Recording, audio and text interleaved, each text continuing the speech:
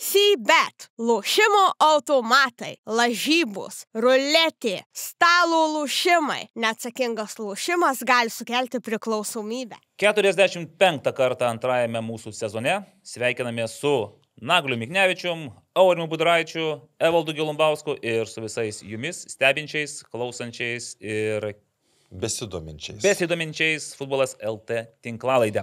Na, o šiandien karščiausia tema tai be abejo yra NATO viršūnių susirinkimas ir visi sunkumai, su kuriais susidūrėme mes, e, stengdamėsi prasiveršti per visas užtvaras, užkardas, postus, blokpostus ir visus kitus dalykus į Šiaurės studiją. Gerbėmieji, prašom jūsų įspūdžiai, kaip pavyko.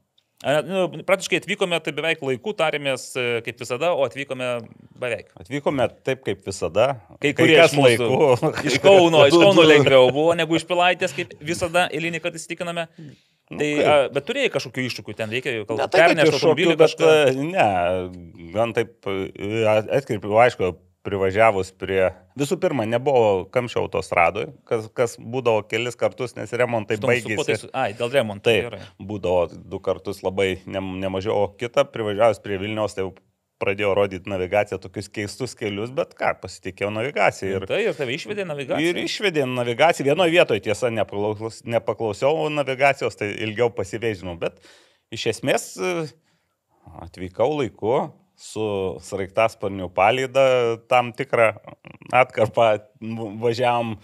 O buvo netgi taip keistai matyti uždarytos gatvės ir tokie net tušti tarpai būdavo, Mhm. kur, kur, kur, kur, kur net galvodai, kad Vilnius išmiręs. Va, galėjai pasijausti truputėlį. Pasijausti, taip. Zombių virusas, pavyzdžiui, koks iš. Ne, ne, nu, tai... Tai gerai, čia kauniečiams kažkas naujo bent jau vat, paragavote. Ne tai, kad nau, naujo, bet, e, bet šiaip tai, nežinau, aišku, buvo labai keli, keli, keli, kelios atkarpos jau su, su labai daug mašinų.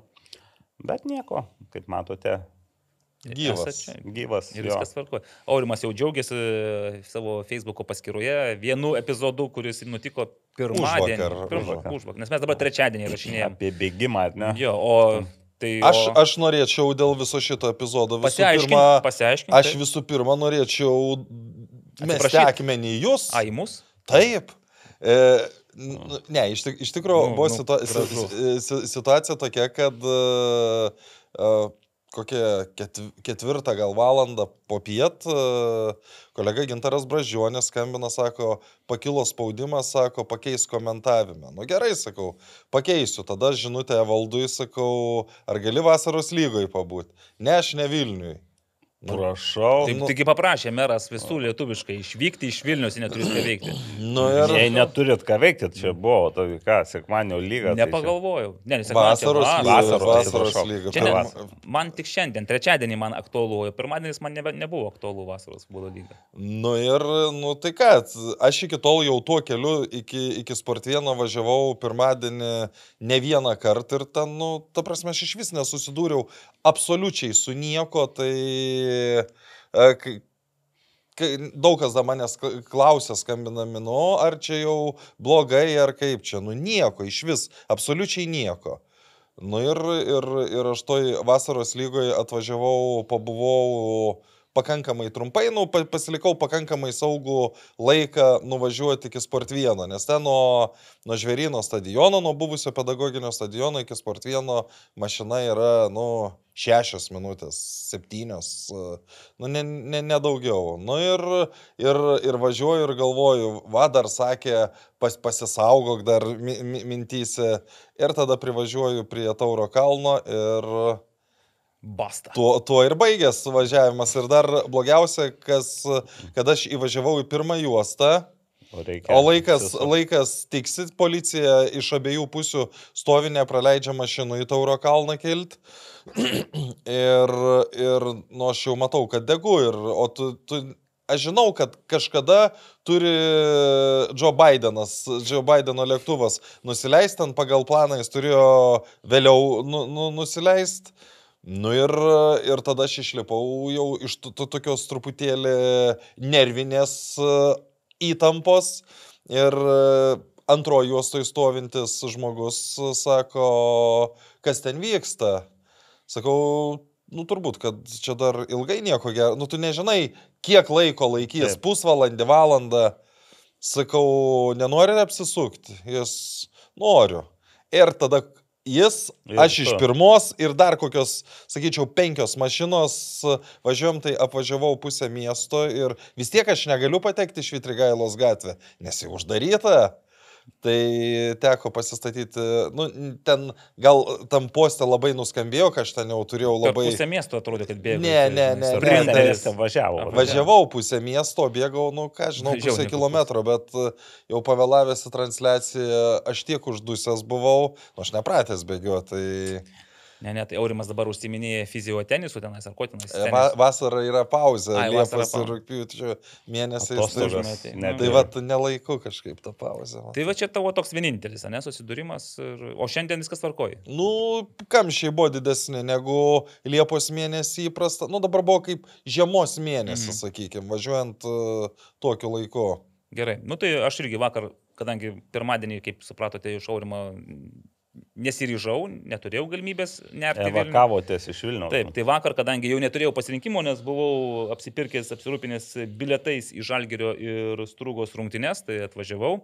Mane maloniai nustebino ant kiekvieno vieduko ir tilto policininkai ir kareiviai, taip mes su vaikais važiavom ir dairėmės, galvoju, aišku, sraigtasparniai, bet jie buvo toli, manęs nelydėjo, taip kad irgi dar be važiuojant kažkokią pamatėm policijos operaciją, ten buvo kažka, kažkas suguldyta ant žemės, tai galvoju, ar čia tiesiog vairuotojai, kurie kažko nepadarė, nepakluso gal, o čia gal kažkas rimtesnio.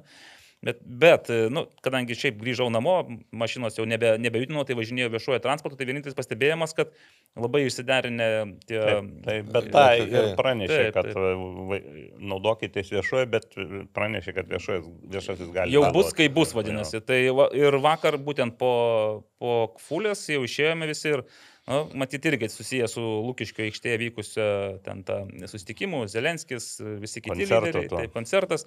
Tai kartu su Ultrinu besmegeniu, arba Ingur būtų tiksliau, ir dar kokie pusšimčių tų stadiono lankytojų, mes kokią gal pusvalandį laukiam mums reikiamos transporto priemonės. Važiavo belekas, kas tik tai norėjo, ten skaidiškės, juočiliai, salininkai, autobusai iš bilekur ir, ir bet kur, bet va, to troleibuso, kurio mums visiems reikėjo, nu, palaukiam iki dešimtos. Bet jis atvyko. Atvyko. Atvyko, taip. O čia- senas ar naujas? A, kažkaip į priekį, kai važiavome, tai mano sunus, nes irgi vežiausi susipažinti su to futbolo atmosfera. Čia mažai, ne? Mažai, taip. Tai sako, nes irgi buvo girdėjęs, kad senų nebevaro, sako, tai tiesiog, kodėl toks senas troleibusas su tokia ypatinga diena.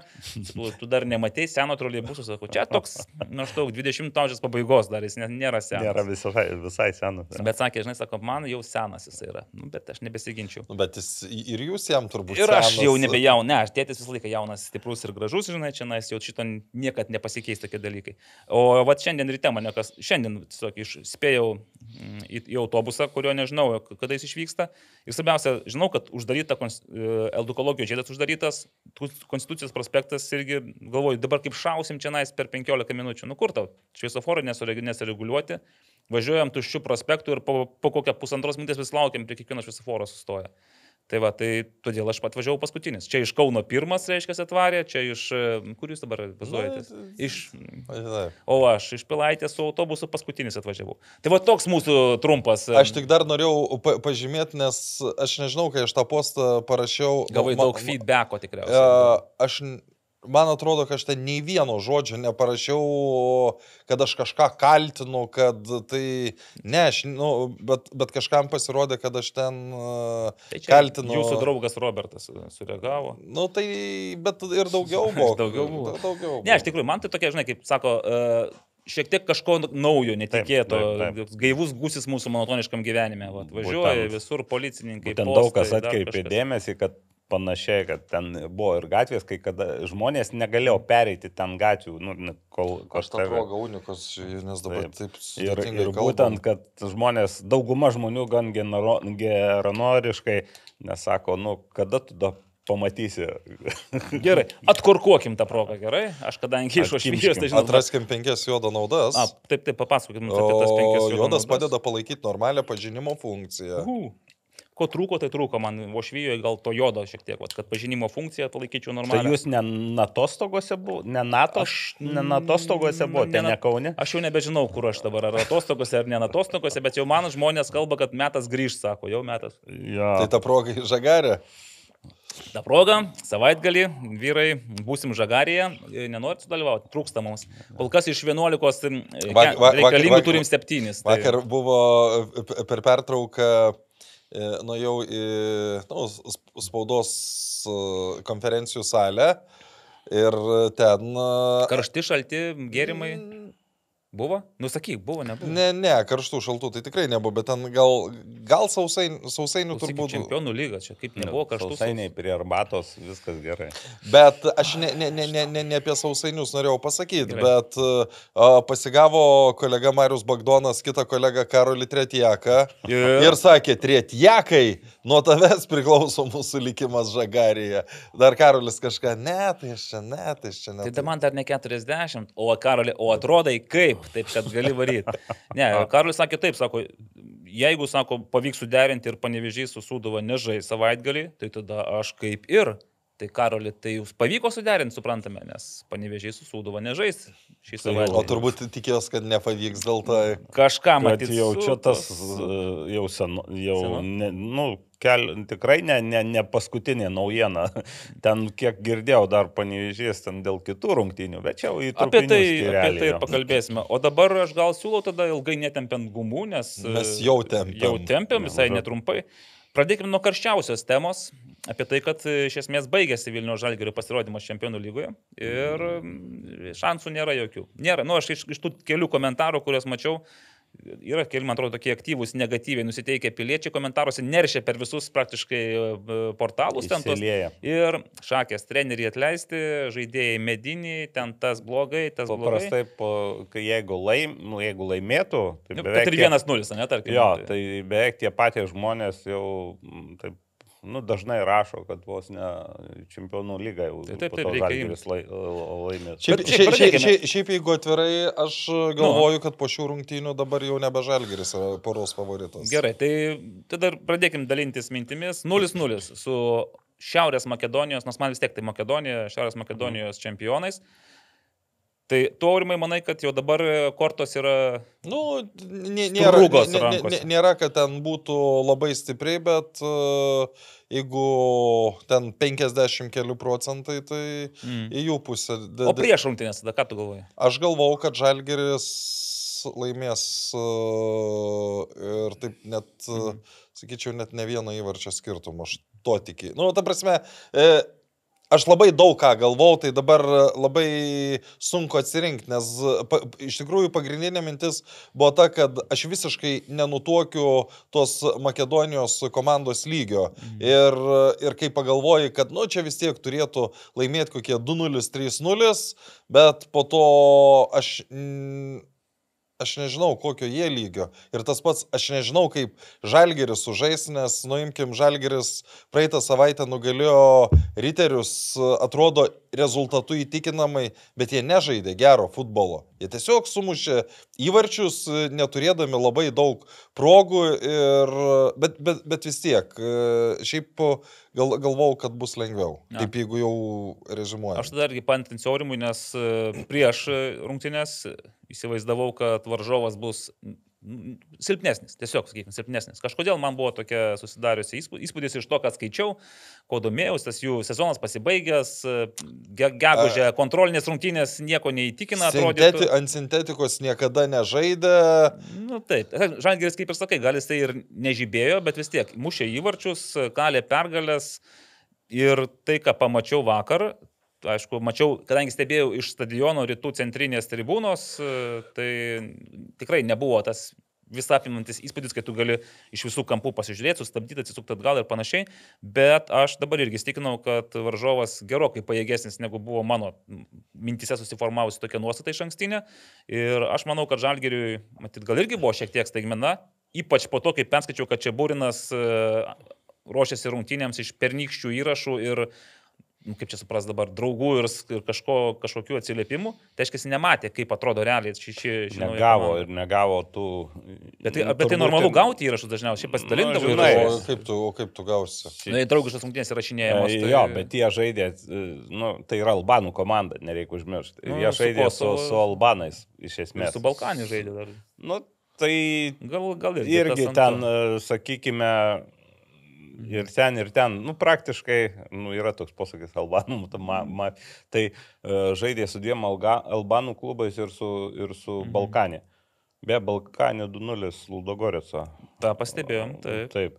Tai, uh, tai ten sunku ir, ir greičiausia buvo toks tarpusai ten susitarimas, kad nesidalinti nieko. Mm. Aš taip galvoju. Ar, ar, ar, arba, buvo, arba buvo prašymas net nefilmuoti rungtynių. Taip, taip gal, arba gal net, taip. net ir nefilmuotos rungtynės. Mm. Tai, tai tas manęs nenustebino, o šiaip e, aš iš vis neturėjau tokių nuostatų e, apie, nes irgi nieko nežinau, bet e, du dalykai tokie, tarsi jau kažkokie perspėjimo signalai, kad čia jau keliuose portaluose pasidalino prieš rungtynės, kad Lietuvai nėra praėję Šiaurės Makedonijos klubų.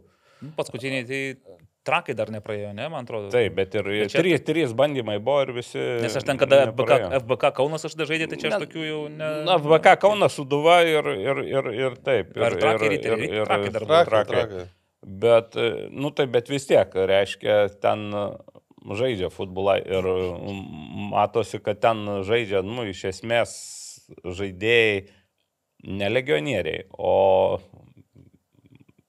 tautinių pagrindų Mhm. albanai. Albanų futbolas toks savotiškas, bet ten tikrai jis nėra, nėra kažkoks nikštukinis tas futbolas. Uh, jo lap ir rinktinė, žinom, buvo išėjus į e, turnyro finalą. Kitas dalykas, kad ten žaidėjai pasirodė, kurie žaidė kitam klube, tiesiog perėjo į tą klubą. Ir, ir, ir, ir, ir tas irgi buvo šiek, šiokia tokia, šiek tiek gal ir nustebino. O, o šiaip e, reikia pripažinti, kad su visa pagarba žalgiriui, nu, viskas, aišku, ėjo daug maž pagal planą, aišku, įmuš kyvartį, bet Pagal kieno planą? pagal Albanų. Pagal Albanų planą. Albanų, sakau, Šiaurės Makedonijos, mm. ten komandos tautinių pagrindų ir ten... O kodėl tu taip nagliai galvoji? Nu, atvažiavo su žais lygiom ir sužaidė lygiom. Okay. E, Nepasikeitė rungtynių datomis. Bet, e, va, ku- sutiko kaip manot, kodėl? Jis ne- nenorėjo pradėti pas save aikštėje? Tai ten, kiek aš supratau, daugiau iš tokio... Nes čia pasakymas, kad mes labai gerbėm UEFA taisyklės. Jo, tai čia Nu, tu toks- ne, nu, nenori, nu, jeigu, jeigu, jeigu dar prieš burtus tau reiktų rinktis, kurias rungtynes žaisti išvyko į kurias namie, Taip. tu visada pirmas rinksies išvyko. Taip. Nu, ta prasme, Okei. ta, tą darytų 9 iš 10 klubų. Taip, taip. Ir, ir neįsigando ten tų sunkumų, viešbutį gavo netoli oro uosto. tai- Ir ne patį prabangiausią, bet... Ne patį prabangiausią, bet ten... Bet tai žinot, kad Žalgeris tai trakuose gyveno. Nu, tai? Taip, Tai, tai, tai čia tas vadinamas, nu, būdas vėl, kaip karantinas savotiškas, žinai. tai taip, bet čia, nu, jie gyveno ne iš gero gyvenimo dėl to, kad Vilniui, nu, nebuvo viešbučio. Jo, bet, va, nu, gal geresnė, bet esmė gal ne apie viešbučius, bet, nu, susitvarkė su tais logistiniais iššūkiais, o dar ten, aišku, komanda, nu, kaip klubas nauja, ten matyti nelabai kaip įsivaizduoja, tai dar ir su tuo sieja, sakykime. Ir šiaip, kiek suprantu, ten sunku, gana sudėtinga komunikuoti su, su, su tuo. Aš, aš, aš aplinka. įsivaizduoju, kad jie galėjo nekeisti, jie ir nekeitė. Čia, jo, čia buvo jo. jų teisė, jie tą teisę pasinaudojo. Gerai, eikime į rungtynes, kadangi aš stebėjau stadiono vienos pusės, tu aurimai stebėjai iš presos pusės, taip? Aš buvau toj... Vakarų pusė vis tiek ten. Per, ta, ta prasme, kur prie komentatoriaus būdelės Nu, labiau tai, arčiau... Ne, tai viskas, aš dėl to, kad, žinai, kai aplink mane sėdėjo rytų centrinės tribūnos e, Hebra ir jie labai irgi aktyviai daly, nu, reagavo, spontaniškai šokdavo, kildavo, tai irgi daug ko, taip sakant, daug ko, kas man būtų įdomu, nemačiau, vaizdo įrašų paskui irgi nežiūrėjau, tiesą sakant. Naglis, kaip suprantu, Dalinai transliaciją žiūrėjau. Transliaciją. Taip, galima taip. Tai mes galim iš skirtingų pozicijų pasižiūrėti tas rungtynes. Mm. Tai aišku, mes dviese stadione, Naglis gal šiek tiek galėjo matyti bent jau tą dalį rungtynių, kurią rodė, tai mm. -hmm. su vaizdu. Ne, tai rodė visą, bet man. Aš, aš, aš atvykau likus valandą iki rungtynių. Nu, Žmonių jau buvo pakankamai daug prie alaus kioskų. apie tai aš dar papasakosiu savo nuomonę. Ir a, kadangi netrukus pasirodė ir pats Marijus Rimas, Tai sakau, žmonių dar padaugėjo. sakau, sakau. Marijau, sakau, matai kokios eilės prie tavo Sako, bet gerą patarimą davėjai. Reikia Marijai pasukti, kad pasakyti, kad į Žagarę važiuotų su mumis. Gerai, e, tai valandą prieš tai čia solidžiai, čia labai... Nu, nu čia, čia vėl, aš, aš išvažiavau iš to paties Portvieno likus, nu, ne, ne valandai, gal 55 minutėm. Tai išvažiavau e, prieš šešias, nu ir labai labai greit nu, nu, nuvažiavau be jokių, be jokių klausimų, be nieko. Bet jau tai likus, uh, likus tiek laiko, nu, jau, jau, jau, jau renginys vyko. Mhm. Aš tai su vaiku, kadangi keliavome, tai viešuoju transportu, man pirmas įspūdis buvo, kai pradėjom važiuoti iš Pilaitės, jis lipa žmonės, lipa, lipa ir su Ukrainos vėliavomis galvojom, nu, stadioną tikriausiai varo, ne, va, iškels vėliavas, čia parodys, kaip įdomu. Prie Lūkiškio ištės iš troleibusą visi praškai dingo, liko tik tai keli su žalgerio atributika, jau tada supratau, kad tikriausiai vis dėlto dauguma varo į Lūkiškių tą... O su kuriuo jūs važiavot? Su septintu e, troleibusu. Tai ten tuo metu jis dar kursavo, viskas tvarkojo, atvarėme prieš maždaug pusvalandį likus. Jau atstovėjom eilę į, įeiti į vidų ir po to aš aišku sakau, nu, reikia nusipirkti ko nors atsigerti ir užkast. Tai kai atsistojom į vieną iš tų trumpesnių eilių, na, aš paskui supratau, kodėl taip nutinka, nes kai aš prieėjau jau tą pačią pradžią, tai atsirado du, du, du draugai. Vienas iš jų iš Dinerio Mindaugas tikriausiai. Ai, tavo draugai. Tai pas visus. Taip išėna, kad mano draugai staiga užmėtė kontaktą su manimi ir sako, kiek čia perkės, nusikavo aš du, sako, tai dar paimk aštuonis. Ir aš pagalvojau, o už manęs, tie, kurie visi laukia, tikriausiai dabar taip irgi griežia dantimis ir sako, o gyvatė. Nu. nu tai žodžiu, aš didžiausia kančia yra viskas tvarko išventė, va tos eilės prie gėrimų tai šiek tiek nervina, nes visi norime, kad būtų greičiau ir patogiau. Nes aš man atrodo, praėjusiais metais skaičiavau, kad ten 11 ar 12 minutę uh, žmonės nuo kioskų suėjo Mhm. į tribunas, tai šį kartą buvo kažkas panašaus. Jo, pa- nes, kadangi aš tai jau, jau mes ėjome į vidų, taip sakant, į tribūną, jau buvo prasidėjęs žaidimas ir netgi pražiopsojau tą pirmas pats buvo tai varžovų išpolis, ne toksai, kur lyg ir smūgis, Gertmanas atrėmė, nes e, aš O, skaičiau. A, nieko rimto. Tai va, tai man labai įstrigo. Pirma, tas- pirmas pavojingas epizodas buvo Žalgirio pakampinio, kur atrodė, kad kamuolys... E, Gnydas, jo, nors. Bet žinai, kaip buvo iš, iš mūsų tribūnos, tai atrodė, kad eina į vartus. Tiesą sakant, ir ten visi staiga pašoko Tai, švęsti tai varčią. ir, ir, ir, ir iš manęs taip atrodė. Nes ten po to šiaip e, Makedonų vartininkas, nu, man paliko labai labai gerą įspūdį. Nu. Jis taip ramiai vis, vis, vis, visur, kur reikėjo, nuramindavo, nu, aš jau nekalbu apie tą epizodą, kur tikrai sudėtingam ištraukė. Ne? Nu, daugiau jis tokio darbo sudėtingo neturėjo, bet jis viską padarė, nu, ko, ko reikėjo. Gerai. Tai apie žaidimą dabar, apie rungtynes. E, Pirmas kelinys. Realiai iš to pirmo kelinio, tai vad Gnydos smūgis galva. Nu ir, ir Makedonų Makedonų išpuolis. prieš vieną. Nu, toksai, kur sakai, kad iš ten galim kalbėtis, ar buvo nuošalė ar nebuvo, nes... e, iš- Ne, ne, ne, ne, ne, aš ne apie tai, aš kalbu antram Taip. 54 minutę. Čia pirmo kelinio buvo išėjimas iš, iš krašto, iš tokio... Ai, ten, kur prasiveržė pro- pro jo, kelis, ir e. Ten Gertmanas at, Mhm. koją atrėmė tą smūgį. Tai toks, na, pirmas kelnys toks Liūdnas. Liūdnas, priminė rungtynės, apie kurias šnekėsim iš A lygos vaizdą lytui, kur beveik nėra. Aišku, jūs ten dviese buvo tolietui, tai bent turėtų su ko pasikalbėti. Nu taip, o, bet šiaip tai toks, nu, klampus kelinys. Kai pag- pagalvoji, tokia, nu, ta, ta prasme, čia buvo tas kartas, kai vaizdas aikštėje ir atmosfera tribūnose absoliučiai nesuderinami. Dažnai būna, Lietuvoje sako, kad e, tribūnose trūksta žmonių, ir o futbolas kartais visai būna gražus rungtynėse. Va, ten, pavyzdžiui, Kauno Žalgirį šiauliai 3-2, bet tribūnose 700 žiūrovų. Tai kartais gaila. O čia buvo atvirkščiai. Čia gali 10 iš 10 rašyti atmosferą į tribūnose. Buvo beveik 4. O aš 10 nerašyčiau, gal aš 9 parašyčiau. Nu, Nu, čia- čia- 10 Aš ką, ką, ką, girdė, ką matėsi, kas girdėjo, nes vis tiek transliacija tai dar ir parodo tokius įdomesnių kampų Mhm. ir panašiai. Ir buvo orkestras e, vėl buvo. Laukiam visą pirmą kėlinį, kol jisai prabils. gabalai, nes, jo. e, Aš jau Nu, buvau bet- įsigandęs, kad gal nebebus e, šį Na, kartą. bet e, buvo, gal pažadint norėjo antram kelniui, bet Gal. šiaip tai žaidimo kokybė atsiliko nuo palaikymo kokybės. Šiuo, šiuo atveju.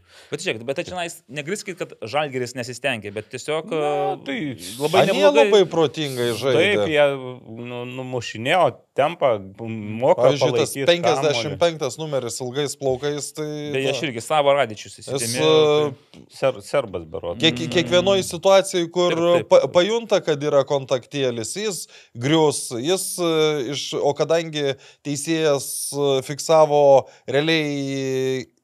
La, la, jis pasėmė nulinę toleranciją baudoms, Mhm. kartais net, sakyčiau, minusinę. Tai, vad Mhm. kaip tam 55 numeriui, tai buvo tobulas dalykas. Tai, žinot, šiaip visi jie sugebėjo tai išnaudoti. Kiekvieną tą, jeigu tik tai jausdavo, kad yra e, bet ranka ant čia- nugaros. Bet, bet negali pykti, prasme. Ne, jeigu- da, daugeliu atveju, nors žmonės pyko, kad teisėjas gali pykt, bet la, la, labai, nėra. labai blogai teisėjauja, bet iš tikrųjų, jeigu imkim situacijas su Ojavusiu, jis absoliučiai kiekvienoje dvikovoje įstato alkūnę. Jeigu vat, atkreiptumėt dėmesį, nu, pamatytumėt, kad jis visą laiką prasižengė. A lygoje net ne visada švilpia dėl to, kad duoda tą aukštesnę pažangos toleranciją, bet iš esmės kiekvienas jo ėjimas į dvikovą yra pažanga. Mhm. Aš tik pastebėsiu, kad šiaip kai varžovai, kiti strūgo žaidėjai nenorėdavo griūti, tai būdavo ir kontaktas, ir juos kirzdavo, ir ypač tie, kurie išsukdavo žaidimą, kuriems būdavo Mhm. proga pratesti ataką, jie įsilaikydavo ant kojų, pakildavo Ne, ir nu, tai žaidė. čia visiškai suprantama, čia galima ten mm, piktintis, kad nesusitarkiai teisėjai, nes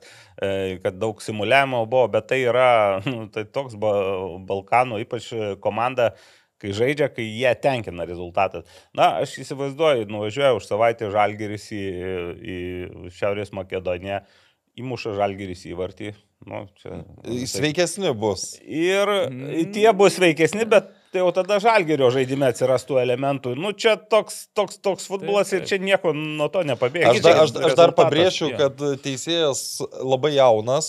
Jis, jis, jis, jis tik pra, pradėjo savo tarptautinę karjerą ir nu, labai dažnai tokiais atvejais būna, kad, Apsidaudė jie, kad jo, tu jo. bijai paleisti rungtynes, dėl to tu stengiasi kiekvieną Mhm. epizodą. Aš, aš sutinku su tuo, kad buvo per pigių pražangų, kur ta prasme, nu kur jau, nu tu iš vis neduodi žaisti. Ten buvo su Donatu Kazlausku pirmo kėlinio pabaigoje Mhm. porą epizodų, kur kovoja dėl kamulio ir tu toj kovoji išvilpi pražangą. Kiekvienas nugriuvimas, man atrodo, per visas 90 minučių nebuvo nei vienos situacijos, kur žaidėjas nugriūtų ir jis parodytų žaidžiam. Jis visą laiką švilpdavo. Mhm. Šiaip pagal baudas, atsimenu, 21-11 kažkas toks, žalgių 21 pražanga, Mhm. prasižengimas užfiksuotas varžovų 11.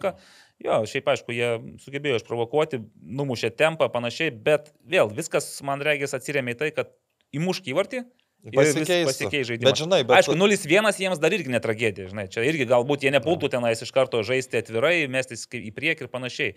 Bet įmušk ir viskas. Ir, tada, ir žalgiriui, ko labai, va, tas jautėsi labai įtampa. Ir kuo toliau, tuo labiau žaidėjai jaut- jautė, kad nu, Taip, taip, rezultatas. stadionas, žinai, palaiko, juos skanduoja, dainos, visa kita. Ir visi laukia to įvarčio, o įvarčio nėra. Ir man dėl to ypač dėl antro kėlinio pradžios labai apmaudu, kai nu, tikrai Ojavusis turėjo ten realiai A lygoje jis tokius jau mušė.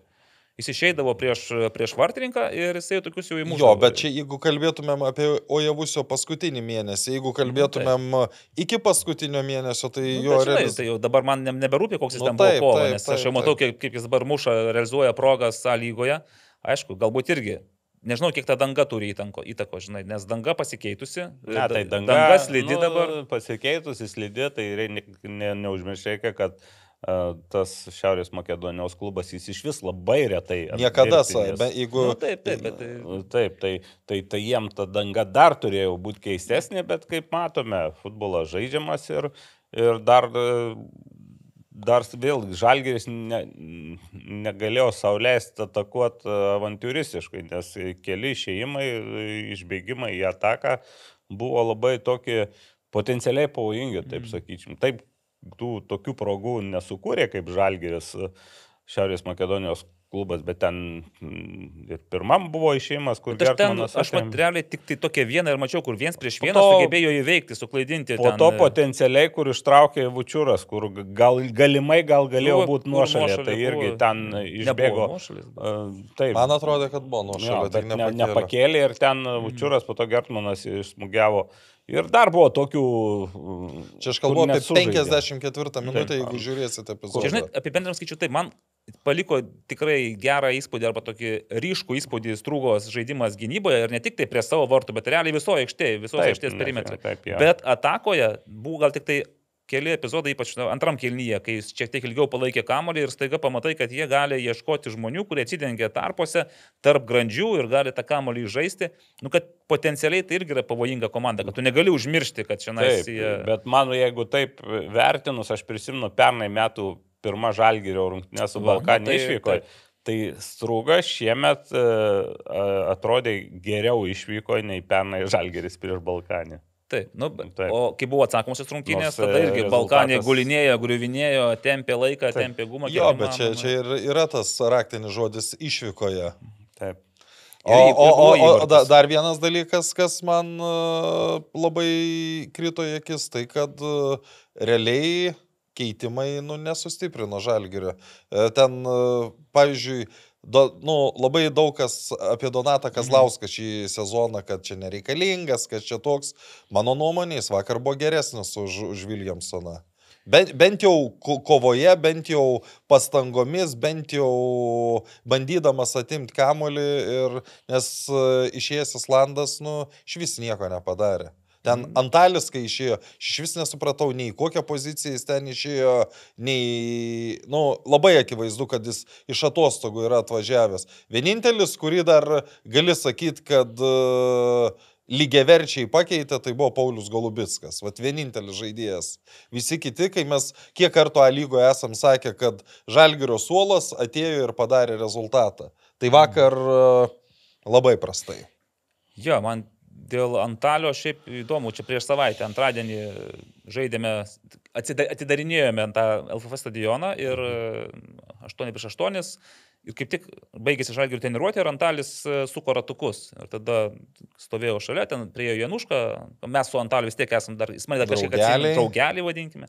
Šiaip labai, jis kaip, kaip žaidėjas labai profesionalus ir bendravimas. Kaip žmogus, taip, tai labai su- aukštam tokiam lygiai. Prasme, niekada jis nebus tau labai draugiškas, bet to ir nereikia, nes jis Taip, pa- padaro per viską, daug, taip. ką reikia padaryti profui.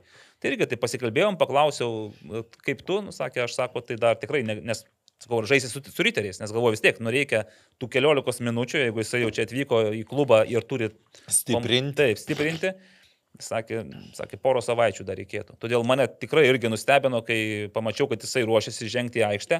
Pasižiūrėjau, nu realiai, žinai, Oliveris Bufas jau yra apšylęs kojas po tos traumos grįžęs, ne? jau jisai žaidė, jau jisai tarsi turi. Ir jo pozicija būtų tokia, kurią keičia Kendišą, žinai, stiprina. Tai iš Antalio aš irgi, tiesą sakant, keičiant jį į Kendišą, nemačiau, net pats Kendišas buvo priblokštas vienu momentu, kai jam pasakė, kad čia jį keičia.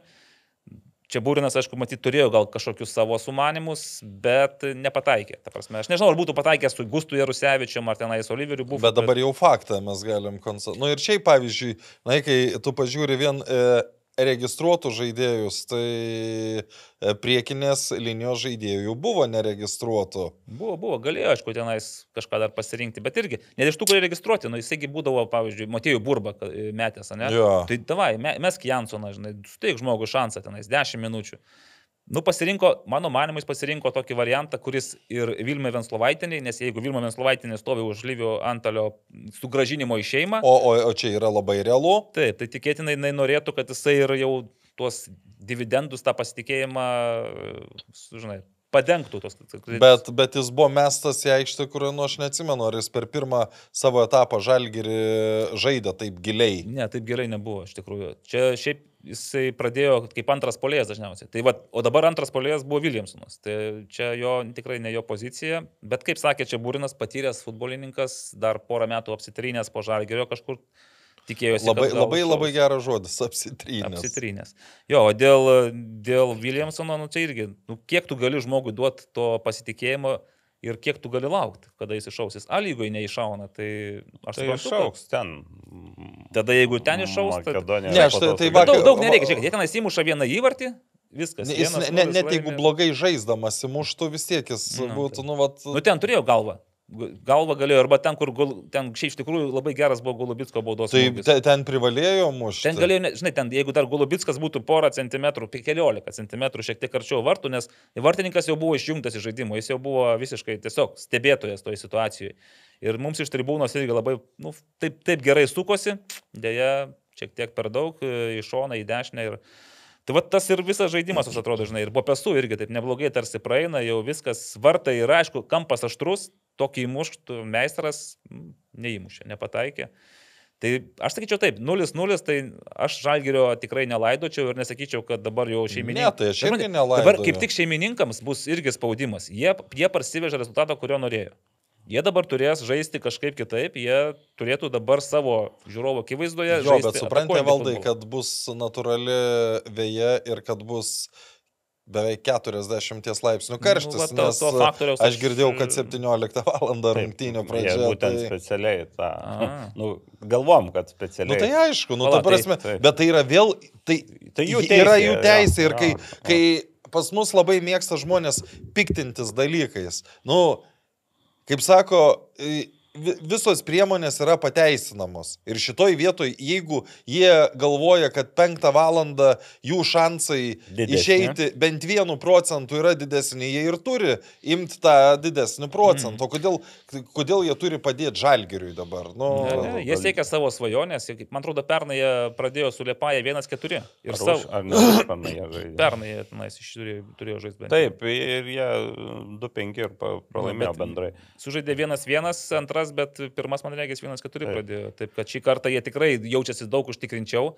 Bet aš manau, kad tai jiems turėtų būti, žinai, kaip lasas su dviem galais. Viena vertus, tu pačiupinėjai žalgyrį, įstikinai, kad jis gal netoks baisus, kaip ten pernus, tiek pernai konferencijų lygos grupėje, ten, ta, ten kažką pasiekė, susižėrė krūvą pinigų.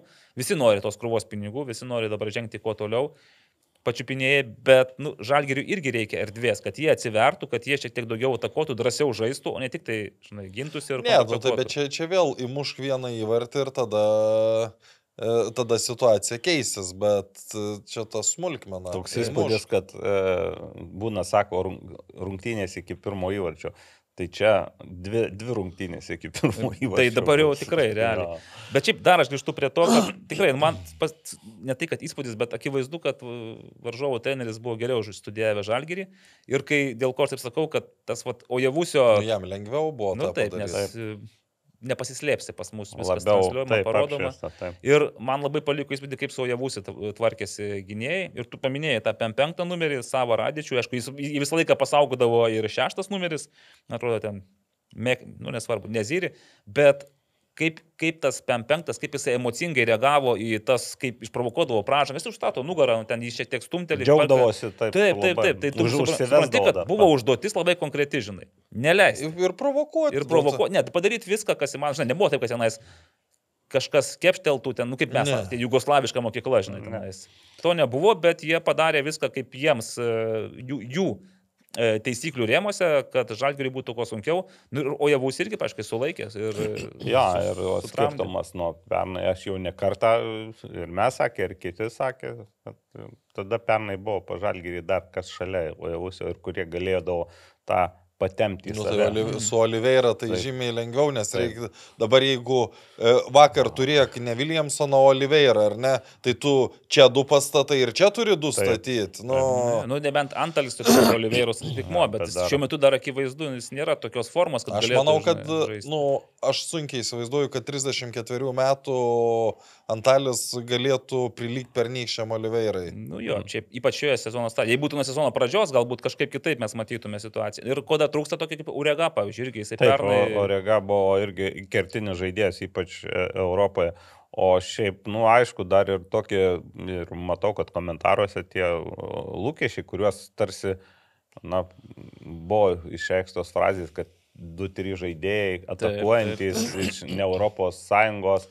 Ir, e, Tai kol čia, bet, kas- bet tai čia pati Taip, taip, Žalgirio valdžia taip, tą taip, pasakė. Čia- niekas ten iš kur Bet, iš, Tai- bet jūs, aš tai ne, niekur neskaičiau oficialiai. Tai, tai čia buvo tada, čia, čia tada prie plovo. Taip, bet išėjo Ar tas- galim tikėti tada to prie plovo? Ai, plovas e, neįtikina. Maža ką ten. Ne, nu tai vis tiek neformalus. Aišku, kažkas gal, e, tik, tikriausiai kažkas netaip klostosi, kaip yra ir kai toks žaidimas ir kai taip atrodo, kad nu, va, trūksta to, to Mhm. dalyko, tai labai, labai jautru ir užtat, e, užtat ir pasigirsta visokių, visokių komentarų. būrina viso- out pasigirsta jau, kad viskas. Yra, Jau, jau anksčiau tai reikėjo atleisti. Tai nes čia, čia yra. Apie braškančias trenerių apie kėdės irgi matėte. Drebančias tai- kėdės, jo, klausimas yra. Beje, Girdėjau tą jūsų klausimą, Mindaugui, labai geras. e, atsakymas geras klausimas. Geras. Aurimas gal negirdėjo, galės, bet jau dabar viskas. iš- Išsidavėm. Gerai, tai žiūrėkite. Po pirmo kėlinio, vadinkim, nes čia vis tiek du kėliniai yra. 0-0, e, kitas. Užgrojo zombiai. Va, užgrojo zombiai. Jeigu kalbant apie palaikymą, tai e, mano, kadangi aš savo sūnų taip etapais paruošiau, iš pradžių būdavo SFL, būdavo tėčio pasižaidimai kažkokie, kur realiai tu girdi tik tai Tautvidą Vencevičių ir, nu, kitus ten draugus, kurie žaidžia Ne- futbolą. Ne valstybinė kalba kalba. Karts nuo karto ir valstybinė prabylam. Tada šeštadienį aš nusivežiau jį į telšius. Džiugas Hegelmanai, e, kad jau šiek tiek rimčiau. rimčiau pabūtų.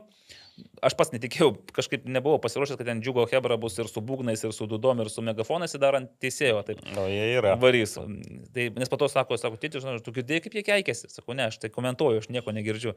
Tai taip. O vakar tada jau dar, dar, dar vienas žingsnis į centrinę tribūną tarp su, su ta centrinė ske- skebra. Tai dar čia jie nėra patys aktyviausi, nes paskui, kai pamatė, kas ten darosi pietų, Pietų. tribūnoje, sako, oho, sako, gerai, kad tenais nenupirkai bilietų, nes, sako, palauk, sako, gal kada nors tenais nuvarysim, bet čia jau reikia man pačiam pasiruošti fiziškai, nes ten, žinai, šokinėti visą laiką. Nes centrinėje paprasčiau, ten jau vidutinio amžiaus vyrai, jie paploja, padalyvauja, paskanduoja, nu, tenais viską, bet, bet ramiau buvo. Tai kalbant apie fanų palaikymą, e, kaip visada, kai tu sėdė, tu nelabai to garso, aš tik tai Aidą girdėdavau, kaip mes Mhm. net liepdavome, tai Aidas tikrai jaučiau, kad stiprus. Man šiek tiek, žinai, ko trūko, vis galvojau, nu, vat, ką naujo padarys, ką naujo iškrės ir kol grįždamas e, Facebook'e nepamačiau, kad pasirodo tas gabalas apie Zombiai atrodo. Apie zombius, jo, kad e, dainuo kaip galima garsiau, žalti balti tribūnų įsiaučia, paklausy, paklausy, ar girdė, nu čia visi šitą žinot apie zombius.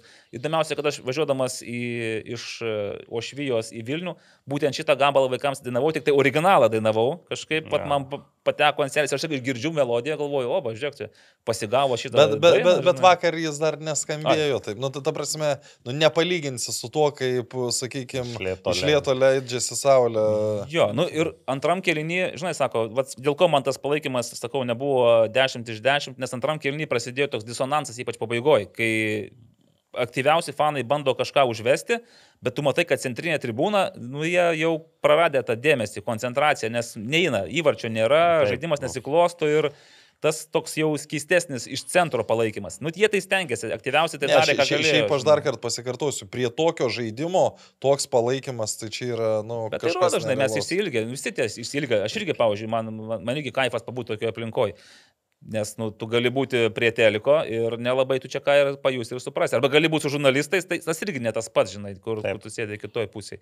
Tai va, bet kaifas pabūti aplinkoje, bet aš sakau, fulės tai mačiau gal kokius 55 procentus iš to, ką norėčiau Nieko. matyti. Nieko. Kartais Atsižiūrėsim tuos- kitas rungtynes. nu, Užtat kitokie tie 55 procentai. kad- Kitokį, taip, taip. Tai va, nu tai aš sakau, čia niekas mano galva dar neprarasta ir aš netgi sakyčiau, Ne, kad tai Žalgiris re- dar turi pranašumą, bet tai jau netokį, koks buvo Aš mano galvoje. pranašumo. Tai aš 50 ant 50 ir dar nenustepčiau, jeigu baudinių serijoje viskas. Taip kad. Čia Gertmanas įdomu, va, taip. Nu, abu Jie- vartininkai. abu. Bet suprantate, Gertmanas yra nemažai pralaimėjęs tų serijų, tiesą sakant. bet tai čia- tai čia ne, ne tik nuo vartininkų, bet ir nuo mušančių dar. Aš tik galvoju, va, ar, ar čia būrinas vėl, nes dabar tą pasirinko startą, kurį šiaip jau ir prognozavo, netgi atsimenu, va, Karolis Nu, komentavo su ryteriais ir jisai jau... Rašymas buvo tik tai gal toksai. Gal toks labiau, žinai, irgi... Paslėptas, sakykime, gal Jo. norėjau kažką biškį. Nes Goropsovas su Karašymai tokie man panašus abu yra tokie. Ja, Šiaip Goropsovas vat, dar irgi, ypač pirmam kelnykai, sakau, e, buvo pernelyg didelė prabanga ir per, di- pernelyg didelė rizika į visą pirmą sezono pusę laikyti ant suolo, nes, nu, vis tiek yra figūra. Nu taip, bet jis, žinai, antram kelniui, pavyzdžiui, jis labai gerai gynybai dirbo. Prasme, jis Tai aš sakau, kad jis, jis- ne, ne gynėjai, o jisai grįždavo, Tai atsitraukdavo. ir pirmam tas pats būdavo, ir savo baudos aikštelę, ir Mm. varžovo aikštės pusė, nu visur buvo. Bet jis sako, dabar spaudimas ir čia būrinu yra surasti tą startinį nuoliktuką, kuris e,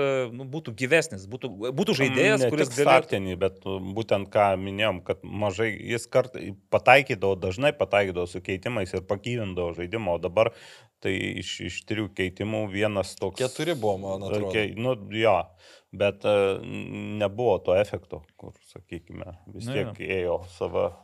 Tai va, sava. pacituosiu Gertmaną pabaigai. Nemanau, kad nerimo rūbinėje po šios dvikovos atsirado daugiau, tiesiog reikia padaryti išvadas ir po savaitės sužaisti kur kas geriau. Žinoma, ten bus žymiai sunkiau, bet viskas pirmiausia priklauso nuo mūsų. Nu, tai čia šiaip va, Taip. bet kas galėtų pasakyti ir tai būtų tiesa, nes viskas nuo žalgerio priklauso. Čia toks Pauliaus Jankūno Bet, komentaras. bet teisingas Tai komentaras. visiškai. Tai ką, e, su žalgeriu kol kas tiek, da, gerbimieji rytoj e, kitos dvi. Dvi, dviejas rungtynės. dvi rungtynės. Važiuosite kažkur? Aš e, su valdu Knyzeriu išnekėjausi ir sakiau, kad apsilankysiu kaip žiūrovas, nors išsiunčiau ir akreditacijai pasiūlymą. Tiesą sakant, ir žalgeriu irgi gavau akreditaciją, galvojau, užsuksiu į spaudos konferenciją, bet jau vaikas sakė, Pavargo. ačiū, sakė, jau varom namo. Tai aš važ, planuoju važiuoti į Kauną ir pažiūrėti, kaip ten tam naujam stadione. Ypa, nu, bet po to, ką mačiau, sustrūga mano mintis apie Hegelmanų žingį į kitą etapą šiek tiek ir jau dabar labiau pesimistinis. Susvyravo. Susviravo. Kažkaip aš vienu momentu galvojau, kai tu nelabai supranti, kas tas Šiaurės Makedonijos futbolas, kad nu, yra šansų, žinai, kodėlgi ne. Bet dabar ir gal sakyti, šansų visada yra, bet e, netokie tvirti, kaip aš anksčiau maniau. O aš tai dirbsiu Kaune. Komentuosi. Taip. Kas transliuos, pasakyk mūsų žiūrovams, kad žinotų. O yra ten jau nuorodos, mačiau pažiūrovus. Tai per kur dar nežinau, per, per, per kurius. Delfi, ne? Bet, bet galbūt per Delfi, jo. Nu, reikia pasi, pasitikslinti. Nes pernai maloniai Mes, nustebino. mes kai- dar čia vėliau laidoj pralošim bilietų į, į Hegelmano rungtynes. Kiek? Kada vėliau? Visus. Nu tai, o kaip pralošim? Dabar galim... Aš, tu- aš turiu, nu tai galim A, dabar davai, jau iš Dabar, karto, jo. ar ne? Šaunam. Gerai, aš, aš turiu klausimą. Uh, turiu klausimą ir tuoj, tuoj tik reikia surasti atsakymą. Tai gal mes žinosime. Gal žinosite. Aš duosiu tris atsakymų variantus, kad lengviau būtų. Tai aš tik įsijungiu. Mm, Taip. Uh, kurią dieną Klaudijus Upstas Hegelman sudėti sužais šimtasias rungtynes, čia su sąlyga, kad, uh, nu, jeigu nepatirs traumos. Mhm. Tai A variantas, tai gali įvykti jau rytoj, tai yra Labai ketvirtadienį. Ta, ta, tada gali būti atsakymas Liepos 30 rungtynėse e, su ryteriais. Ir trečias variantas, tai gali įvykti, e, tai gali įvykti e, rugsėjo 6 dieną rungtynėse su Panevežiu. Nu, neblogai. Aš tai, žinai, rinkčiausi iš karto šį variantą, A variantą, bet dabar galvoju, hmm, čia tokia gal potekstė yra, jeigu nepatirs traumos, jeigu dar kažką. Jeigu tai- papuls į startinę sudėtį. A, Nu, tai- tai jeigu nepapuls, vis tiek gali pakeitimus. Bet pagal dab, kaip dabar dėstosi Hikelmanų startinė sudėtis, tai Turėtų. papuola. Taip. O kaip e, mes išrinksim nugalėtoją? Tai jūs rašykit komentarus A, B arba C ir... e, Nes rungtynėse ketvirtadienį, žinau. Tai... Ai, čia mes jau turim. Tai, tai reiškia, per šiandien turit. Uh, Nu, arba ketvirtadienį iki 12. Iki 12 Iki 12, valandos. tada reikės būdu. rungtynės 8 val. Taip. bilietų yra, tai laimėtojas bus ne vienas, taip kad... Uh, Drąsiai rašykite A variantą, žodžiu, ir nesukit galvos. Ir... Arba Vieną kartą A, kitą B, kitą C. Palauk, tai gal ne, gal iš vieno at vieną, nes Ne, tada... ne, jau- vieną, vieną galima. Tai dar kartelį, kada Klaudijus Supstas sužais šimtasias rungtynes Hegelman sudėti Mhm. rytoj, Liepos Liepos 30 su riteriais ar rugsėjo Rugsėjo 6 be šansų. su Panevežiu. Tas jau visiškai dėl vaizdo. Galėjau pasakyti kada nors. Arba kada Nu, nors. a- aš, vėliau. aš tik pasakysiu taip, kad, nu, e, pavyzdžiui, dėl ko aš nesirinkčiau C varianto. Dėl ko? Nu, jeigu, pavyzdžiui, e, Hegelmanai išeina į kitą etapą, tai jau automatiškai greičiau tas įvyks, suprantate. Logiškai. E, Dar kas, e, nežinau, ar pastebėjote, bet po rungtynių net trys žalgerio žaidėjai gavo šimtukus. Tai yra um, ap, marškinėlius su, šimt, su, su šimtuoju numeriu. Oho, nemačiau šito. Nes uh, Kendišas pasirodo, šimtasias sužaidė, rungtynes. Bopesų ir Verbickas, jau Na. trys šimti, šimtukininkai. Ir dar kas man paliko įspūdį, tik visada tenais e, pas, nu, prie aktyviausius ir galių, sakau, dar palaukiame, nes vaikas jau vežėsi iš stadiono, sakau, dar palaukiam, jie apie, apeis, pas, pas, paplos, apėjo, paplojo, nuėjo, sustojo. Galvoju, kas, nu, jau dabar prie vakarinės tribūnos, mes po truputį slenkam link išėjimo, galvoju, kas čia bus. O paskui prasidėjo ratukų sukimas, tas lengvas toksai kilo- kilometražo, gal nedasukto. Supratau. Čia kaip juokavo, kiti sako, čia matyti, čia burnas už bausmę, Už bausmę. dar davė prasibėgti. Nu, ne už bausmę, bet taip, duoda. Tiek, Jo, kurie- tai vad netikėtas toks buvo šiek tiek neįprastas dalykas. Gerai, Hegelmanai, Jo, tai čia dar iki Jo. ketvirtadienio 12 val. šitie. tai šiandien trečiadienis, tai jau žinau, kad reikia skubiai dėlioti viską.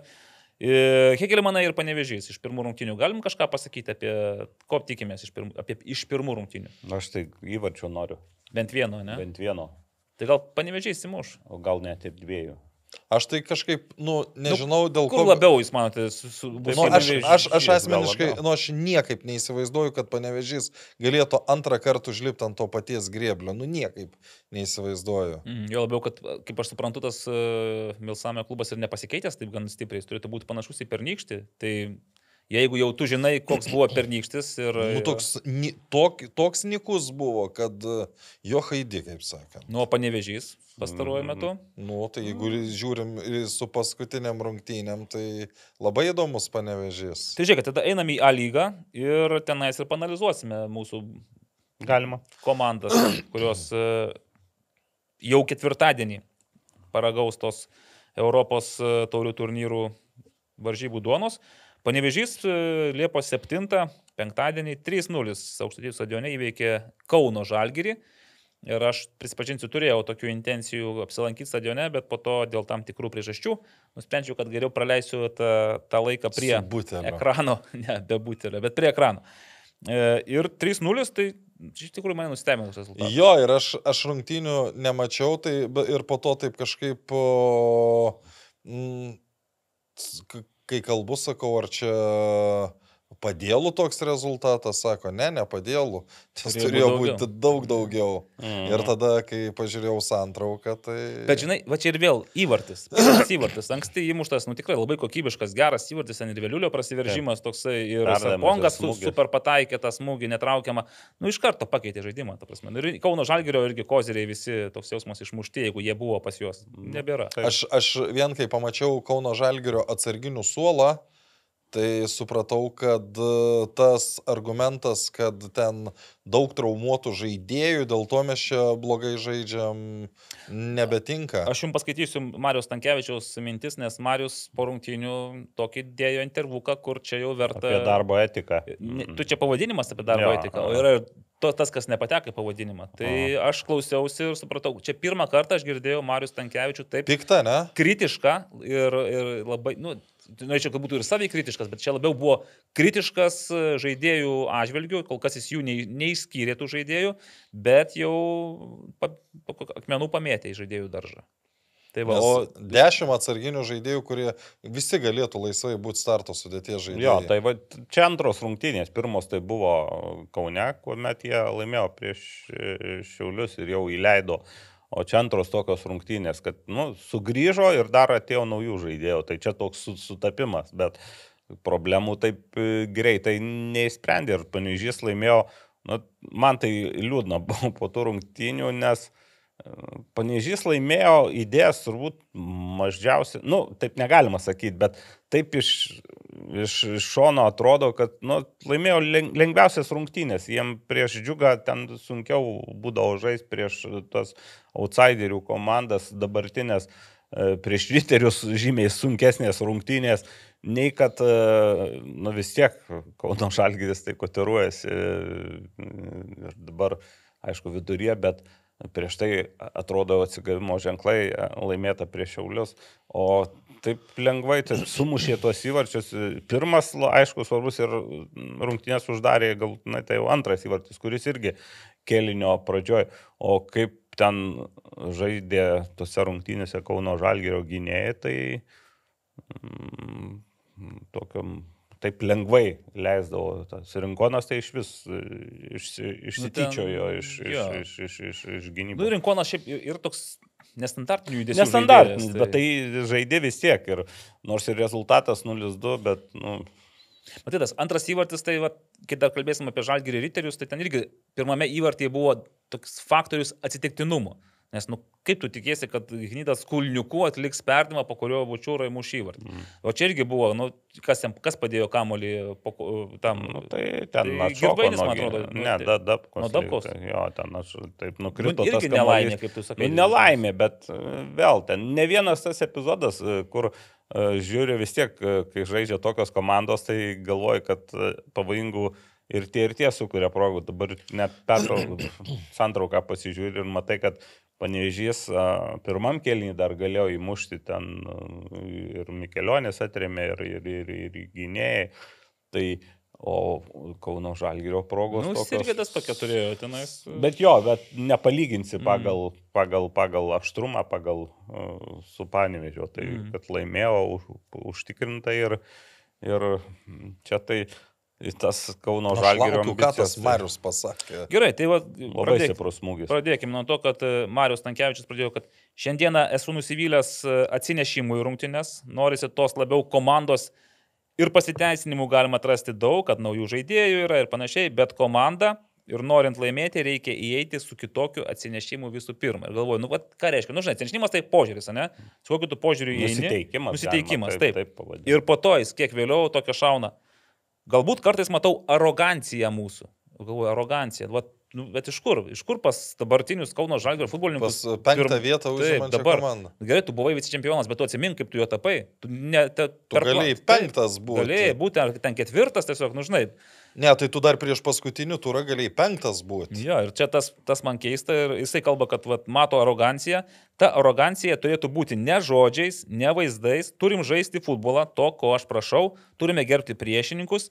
Ir turėtume darbo rodyti, nekalbom. Norėčiau, kad mes pakeistume tą aroganciją nuolankumą. Nu, čia tikriausiai kitą norėjo terminą pasakyti, mm. Bet aš suprantu, ką jis turi į darbą ir tas rezultatas ateis. Tai va, žinai, kažkada man irgi šovė tokia Valdas Dambrauskas, man atrodo, 17 metais, kai Žalgeris subūrė tikrai galingą kapelą.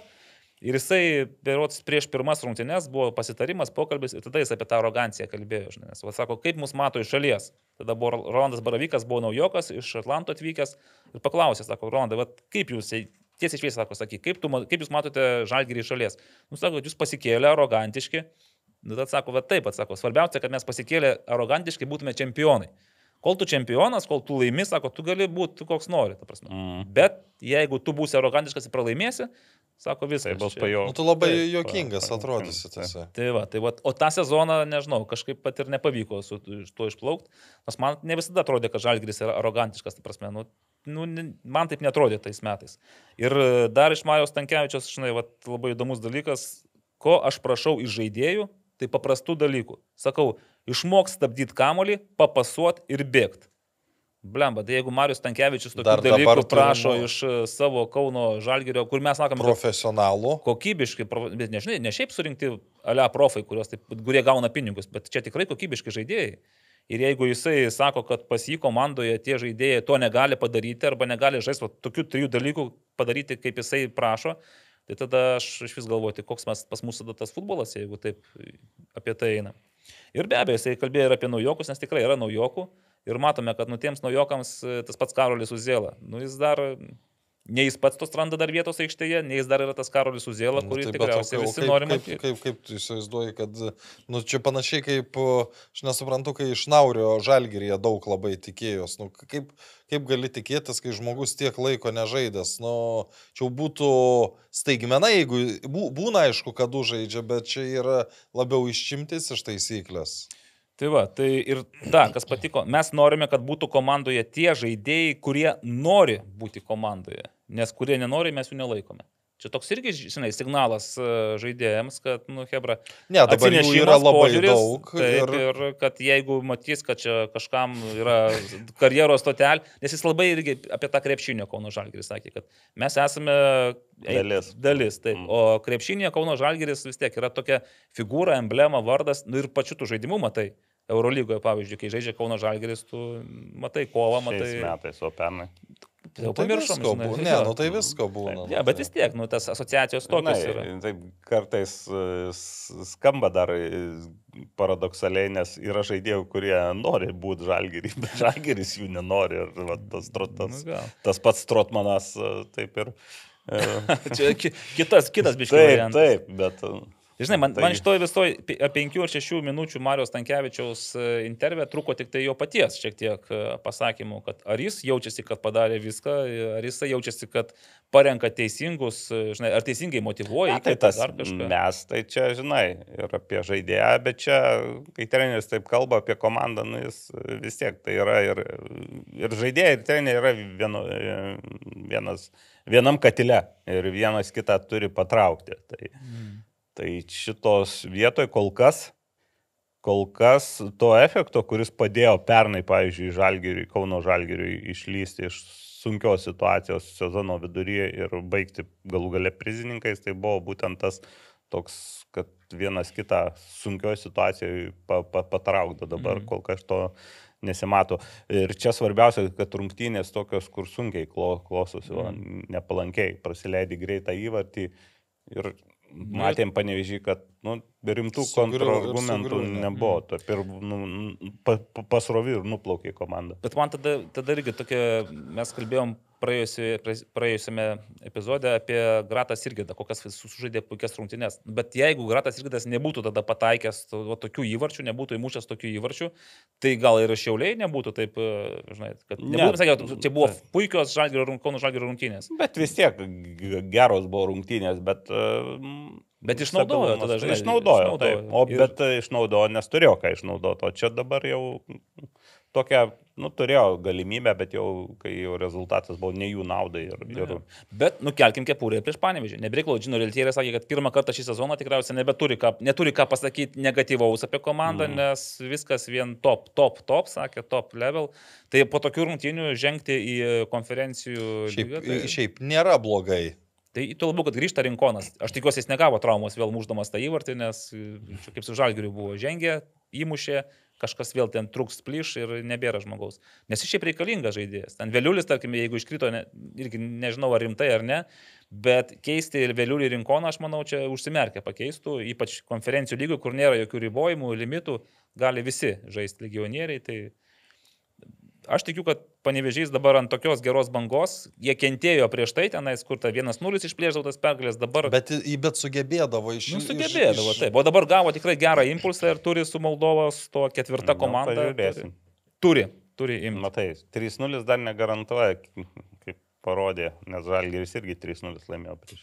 Bet, kaip sakė Aurimas, žaisdamas ne pati geriausia žaidimą Žalgiris. Aš tų rungtynių nemačiau, bet, bet noriu dabar dar prie Hegelmano eiti, kadangi kalbam apie Hegelmanus ir aš per praėjusią savaitę dvi rungtynės Hegelmanų teisėjai Teisėjai. komentavau. Ne, Jau nu, tas- ruošiatės? Man jau siūlo, jo. Šarūno Tamulino efektas tai yra toks didelis. Dar su Gediminu Mažieika mes praleidome Liepos O. 6-ąją, Rumšiškėse, apžiūrėjau jo valdas, storiausią pušį, giliausią, juodžiausią ežerą, ten Mergakalnį, žodžiu, Oho. daug įspūdžių Oho. buvo. Tai Wolfo Engelman nealkoholinio. Atragauta buvo, nealkoholinio, taip, visko buvo atragauta su saiku. Su saiku. Soikės buvo labai, aišku, aukštai kartelė, kartelė pakelta, bet su saiku buvo atragauta. Tai va, tai Hegelmanai, iš tiesų, kol aš nepamačiau strūgos, ir, žiūrėjau tik tai Hegelmanus, aš kažkaip įsivaizdavau, kad gali praeiti.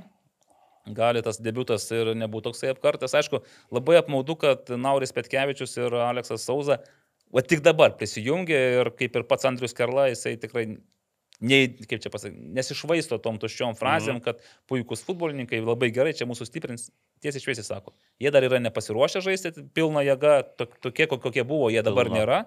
Ir tai labai aiškiai Bet, bet, matosi. bet tai to- vis tiek yra sustiprinimas. Taip, bet, bet suprantate, tai bus sustiprinimas rimtas rugsėjai kokį tenais, jau kai jie tikrai įs- įsivažiuos, jeigu nebus traumų tikiuosi.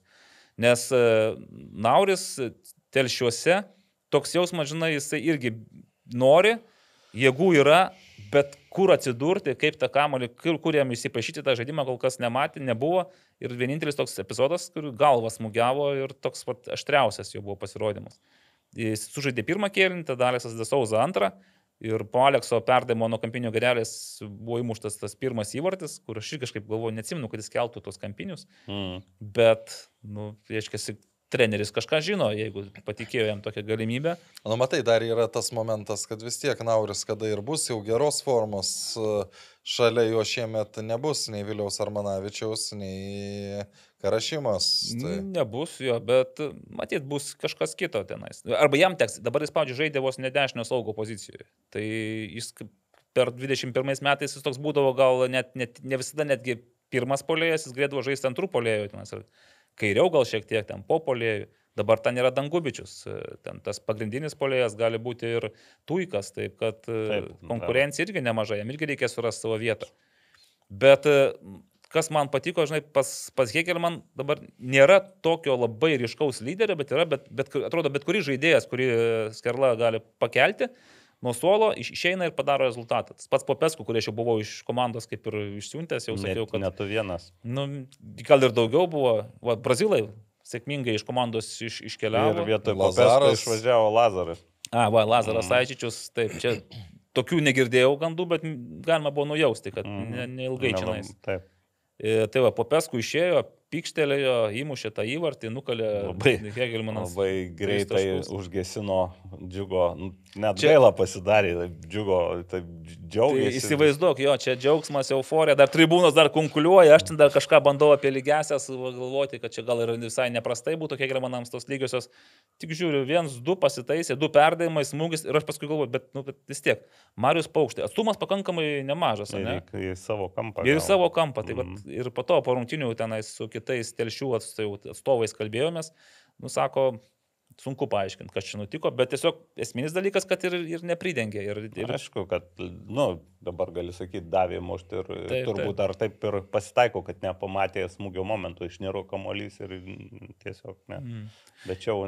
Nu, čia toks O pasiteisinimas. žiūrėkit, dar prie, jeigu dar, kad, kadangi dabar jau užsiminiau apie Vilių Armanavičių, koks įspūdis, kai jis dabar prisijungė prie Kauno Va, Žalgirio. Vilius Ramanavičius. Man tai jokio, žinok, ne, aš Man- žiūrėjau, laukiau ir galvoju, kur šitas, nu kaip jisai.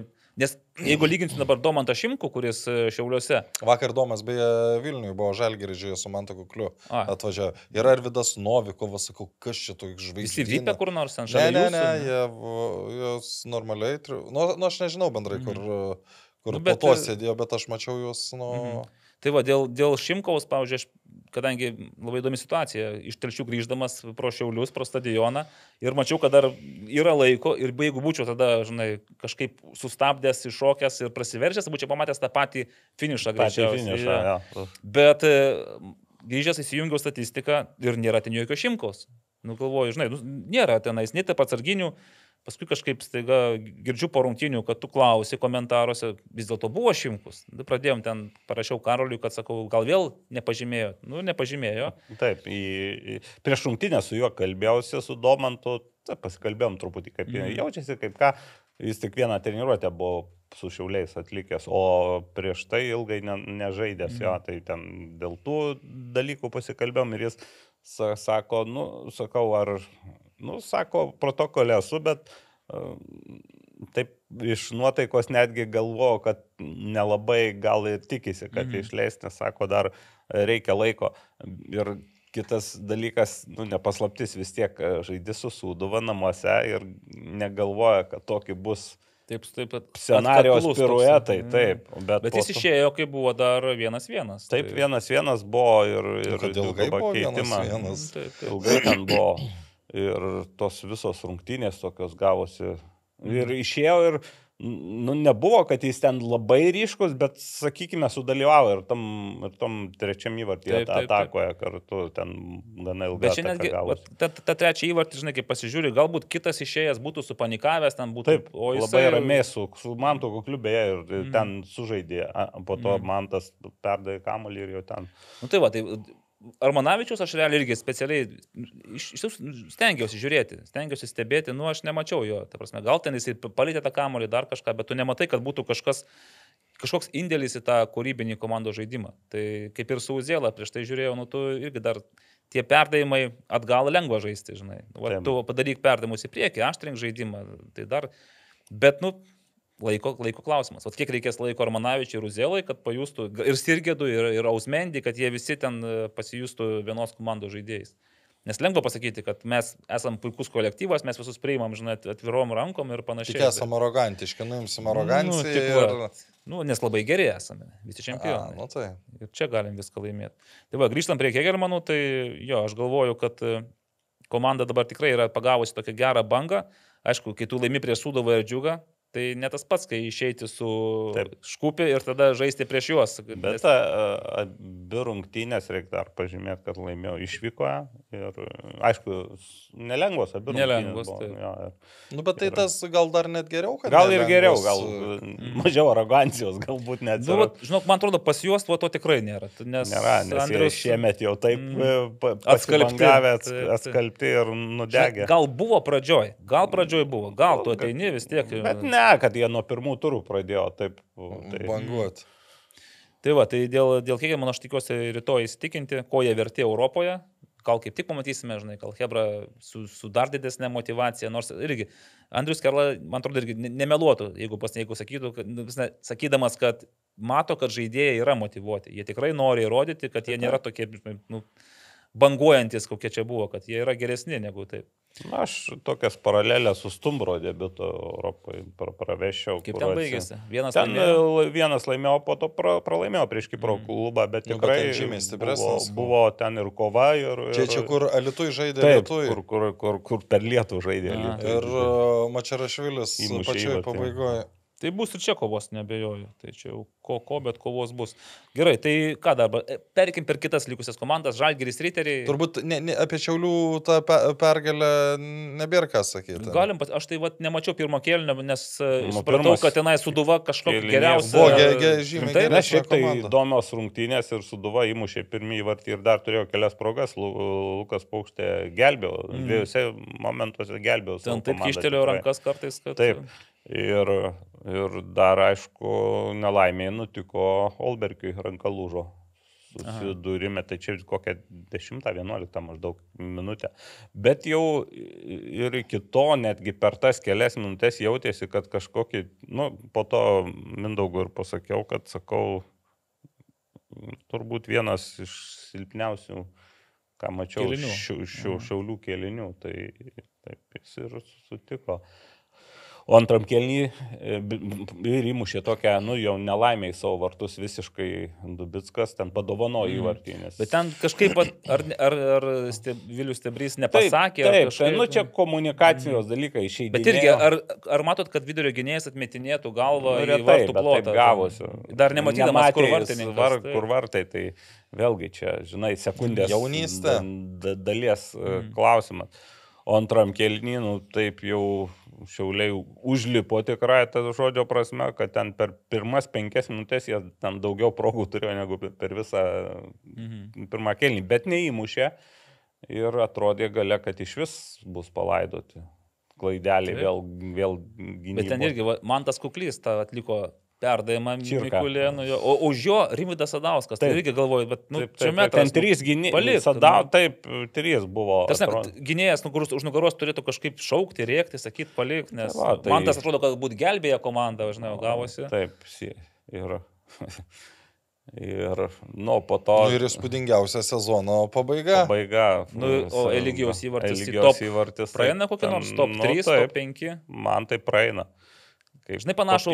Olugbogi įmušė riteriams, tik tai aišku, gal iš bodos aikštelės irgi tokį, kur pasitaisė, ten jo šiaip nebuvo gal ir važiavo prieš jį, bet jisai Mhm. pasitaisė ir tokį irgi labai preciziškai tikslų pataikė, nu, lygius. Ir pati šiaip ataka, aš galvoju, kas atliko perdavimą ten. Leketas. Leketas. Per visą aikštę. Jo. Ir dviejų, dviejų, dviejų perdavimų, vieno perdavimo kombinacija. Faktiškai, jo, ten gavosi taip. Taip.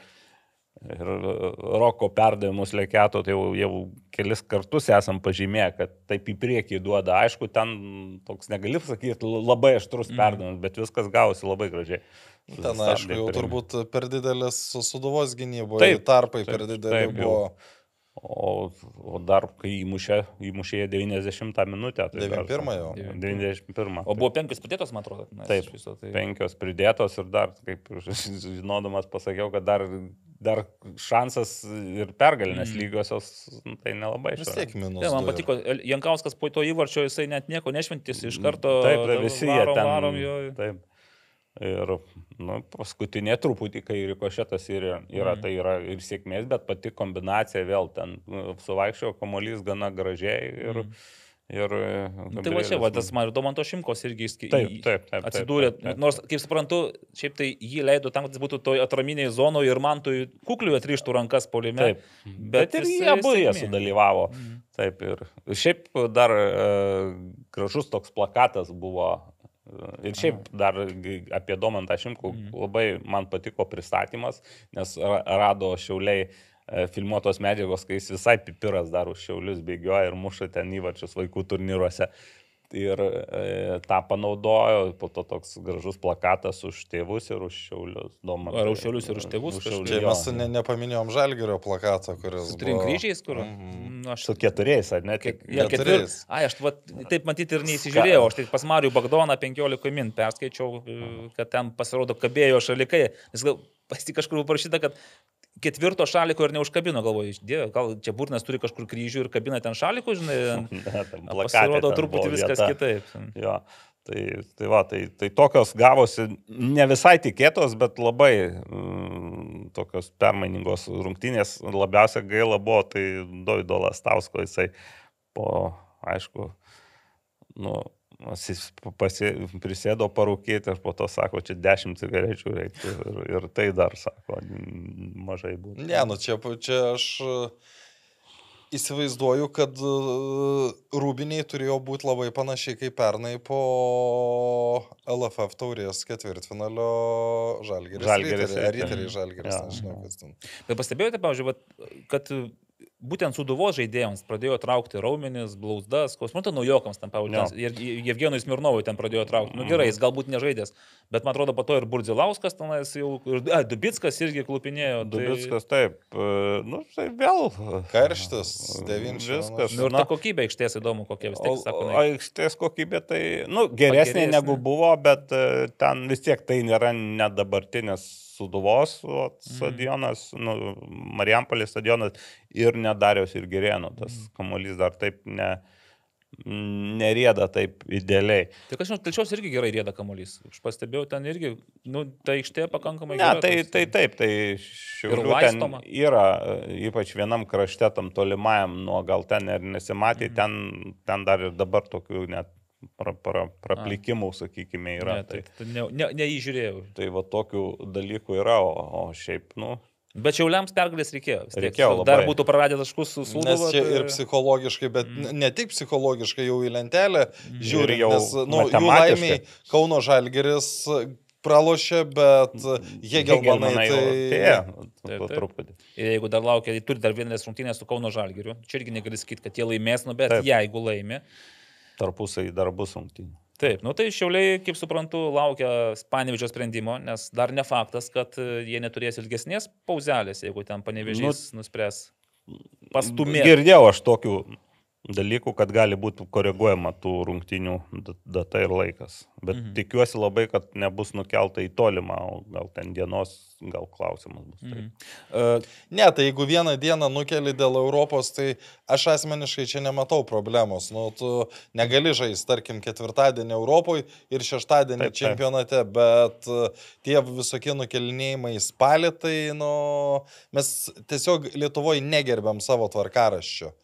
Tai, nu, per, per nelygį tai, ai, kas čia tvarkaraštis, ai čia perkelkim, ai čia, ai čia.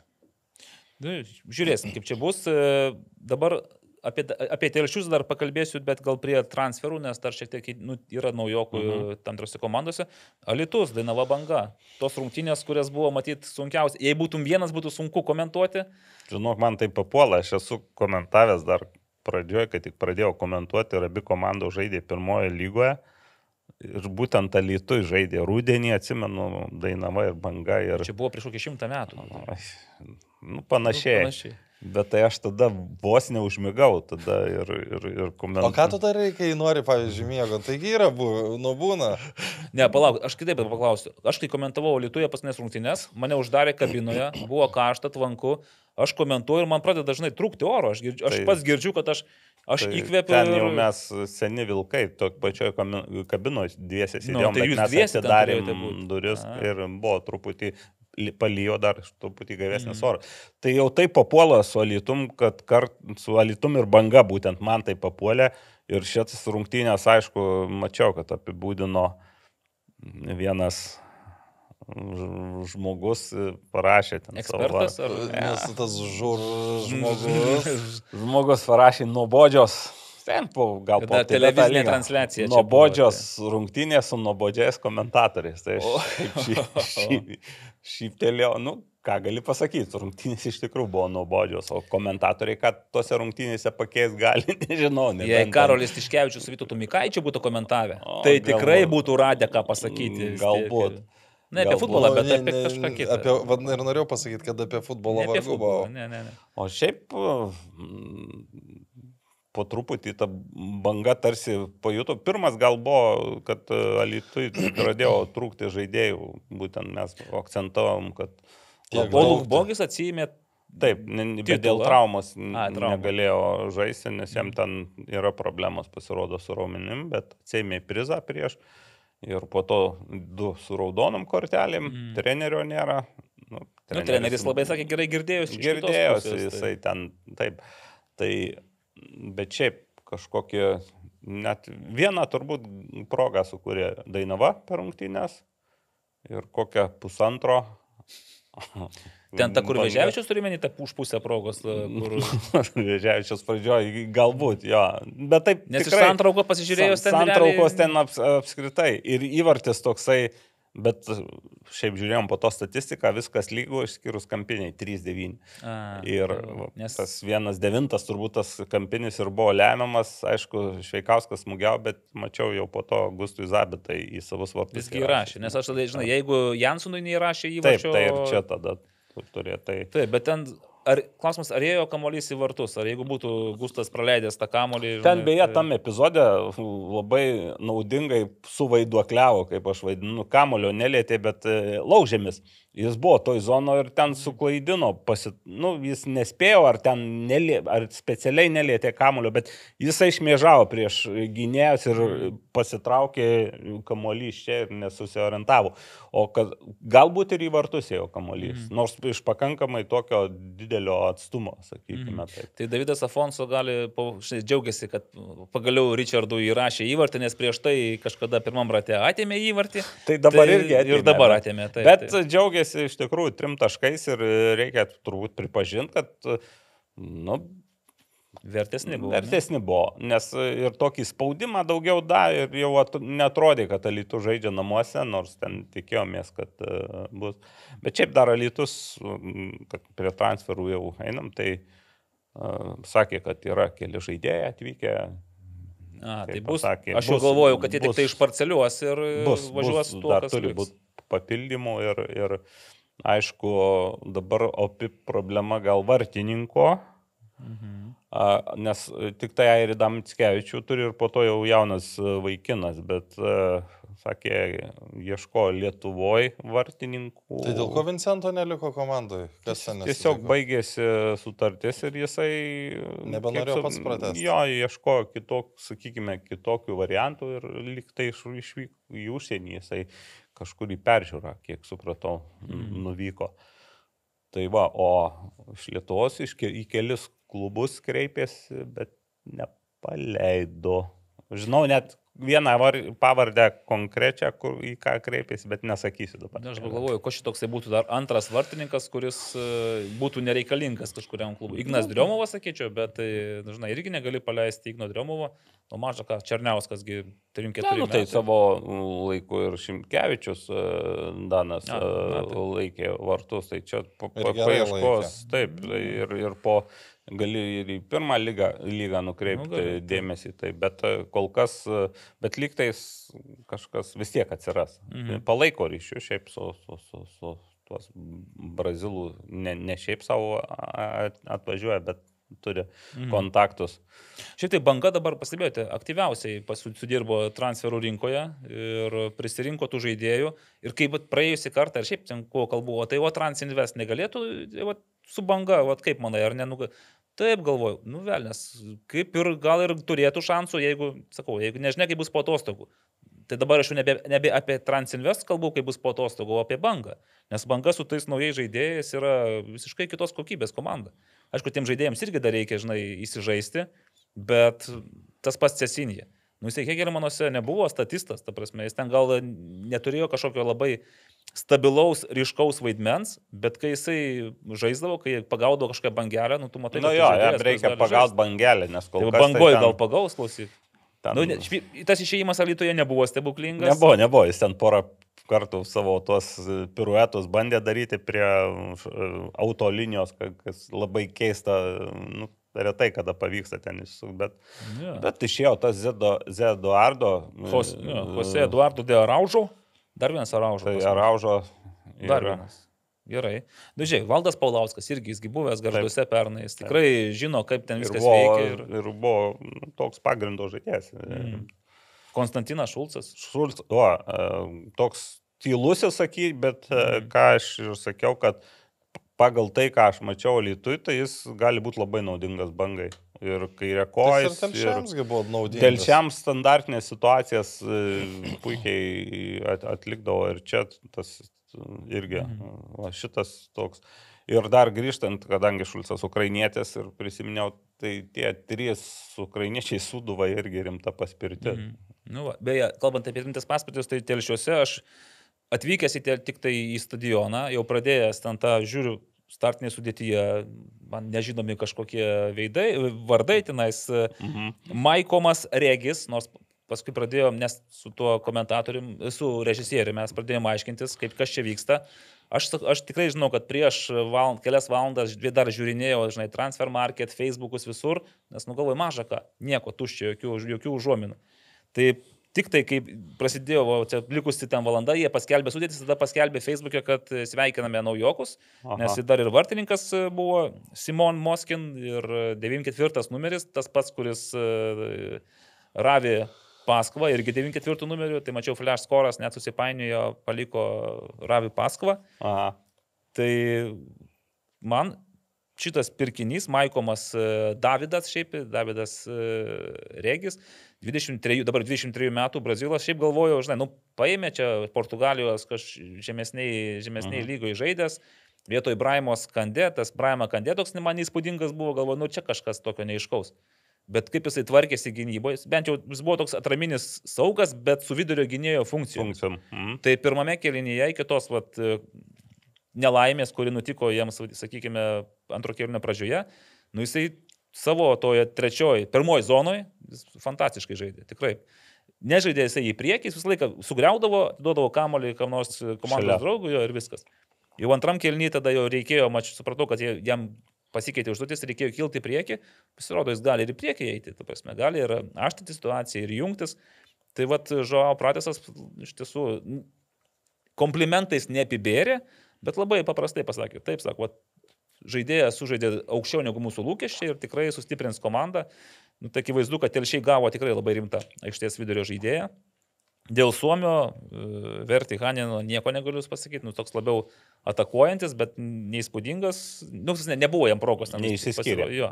Nu ir tas vartininkas pagal tą jo visą CV, tai šiaip Italijos serija C, o buvęs ir A diviziono taikiklyje, paskui žaidė Maltoje, Premier lygoje, nu tai kaip Lietuvai, telšiams, manau, bus e, solidus variantas dar, Marijui Paukštė. Telšia. Ką Telšiams. jūs? Ne, tai kaip telšius. Tai... visus, visus metus girdime iš Žao Prateso. Mes neturtingas klubas, ribotas biudžetas, mes čia negalime nieko pasikviesti ypatingo, žinai, jau ką pasikviečiam, tai pasikviečiam. Tai va, tai aš manau, kol kas banga su, telši, su džiugu laimi, dabar klausimas dėl riterių, Ognienas Dmitričius, e, kas per paukštis ir Labai, labai, labai sudėtinga yra pasakyti, kai žaidži pirmas rungtynės prie žalgerį ir atvažiavęs ten irgi po treniruotės ar dviejų, tai aktyvumu įsiskyrė kažkokiu įspūdingų žaidimų nu, neįsiskyrė, bet tai, kad visi riteriai neįsiskyrė. Tai Mhm. jeigu šiaip apie tas rungtynes, tai buvo Žalgeris iniciatyva, bet be momentų. Pirmas įvartis, aš jo irgi negaliu vadinti momentu. Bet, Geras smūgis galva. Nu tai Kodėl Batmusas bandė koją išmušti? Neturiu Aš tai nesusiorientavo situacijoje. Nes ten koja tai uf, kaip sudėtinga, bet galva gal ir įmanoma buvo. Arba krūtinė. Tai ten apskritai kažkur. visų pirma, Armantas turėjo pasimtą kamolį. Bet ten, man atrodo, ar nebuvo, kad savo žaidėjas dar jam trukdė. tenais, Tai- tai- taip, Jis- ten jis- buvo jis- jis- jis- kontaktas, Jis labai, taip. jis labai kaip čia, šoko ant teisėjo, uh, sakydamas, kad bauda, nu aš bandžiau žiūrėti, aš ten niekur Mhm. neižvelgiau baudos, tai gal, gal savo žaidėjas kažkiek stumtelė. Savas turėjo kontaktą, jis galbūt turėjo, kad tą savą stumė žalgyrėtis, bet čia jau per tokią, per trečią, nu, retai, kada ten tikrai ne, nebuvo. Tam epizode gal jam pajuto kontaktą ir užtat šoko, bet pažiūrės, manau, ir Armantas ten sutiks, kad ten vis tik buvo švarus įvartis. Tai da- dar kas tuose rungtynėse, nu, keista pasirodė, kad Žalgirio futbolininkai per pertrauką neapšilinėjo. Vienintelis duka apšilinėjo. Kaip Mm, Atsarginių nebuvo. ta Nei, vieno, nei vienas atsarginis. Ne, ne, nedarė apšilimo. Nu, ko, ko, ko nu, ne, Retai būna. Taip, ta- ne, ne, nematęs. Ir, ir dukai išėjo į aikštę, nu ir ten a, stovi su ekspertų ložės a, Atstovu. nariu, atstovu. Sako, o tai tas tai prisidarys, čia jau šimtas procentų. Ir tada vėl nelaimė 2-0. Ir, o, ir prie 2-0, nu labai greitai įmušė. Šio klausiu, sakau, nu, o du kart sugebės prigribauti, sako, nu, va, jau. Ant dviejų ši- jau nebelabai. Jau šito nežinau. Nu ir... Na, bet antras įvartis, žiūrėk, tai man atrodo, Jankovičius buvo nepatenkintas dėl teisėjo sprendimo. Tai jeigu būtų vakarykštis azerbaidžianietis teisėjęs, tai būtų tūkstančių procentų užfiksavęs pražangą, nes ta, nu bet vis tiek, aš net jeigu buvo baudelė, aš sakau, o javusis praktiškai kiekvienam epizode, kai kovoja dėl kamulio, jis nuseina al, al, alkūnę. Ir šitoj vietoj, šitoj vietoj, nu, tu, vis tiek vidurio gynėjas turi atstovėti. Nu, aš, pavyzdžiui, sunkiai įsivaizduoju, kad ten kokį, Vatlina Klimavičio dabar tu taip... O, nu, Nustumt nu, lengvai, Nelabai turbūt. Nu, jo. Tai va, tai ir... O po 2-0 buvo taip, kad vieni nenori, kiti negali. Tai ta prasme, Но liūdnas vaizdas buvo toks. Mhm. Tai, bet tai sakau, Žalgeris iš tikrųjų realiai per rungtynes, va trečią įvartį, kurį mušė, tai ten buvo jau... Įžaistas. E, jau, jau ne A lygos įvartis, Jo, kur tokį yra. e, realiai Žalgeris per rungtynės sukūrė pusantros progos, įmušė tris įvarčius. Mhm. Tai riteriai nesukūrė nei vienos pusprogės. Tai... Tai labai matosi iš santraukos, atrodo, ten tik tai įvarčiai Mm. realiai. Nei, nei, nei, parodyti. nei, nei, nei, Mm. nei, vienos pusprogės, tai va Mhm. čia yra liūdna.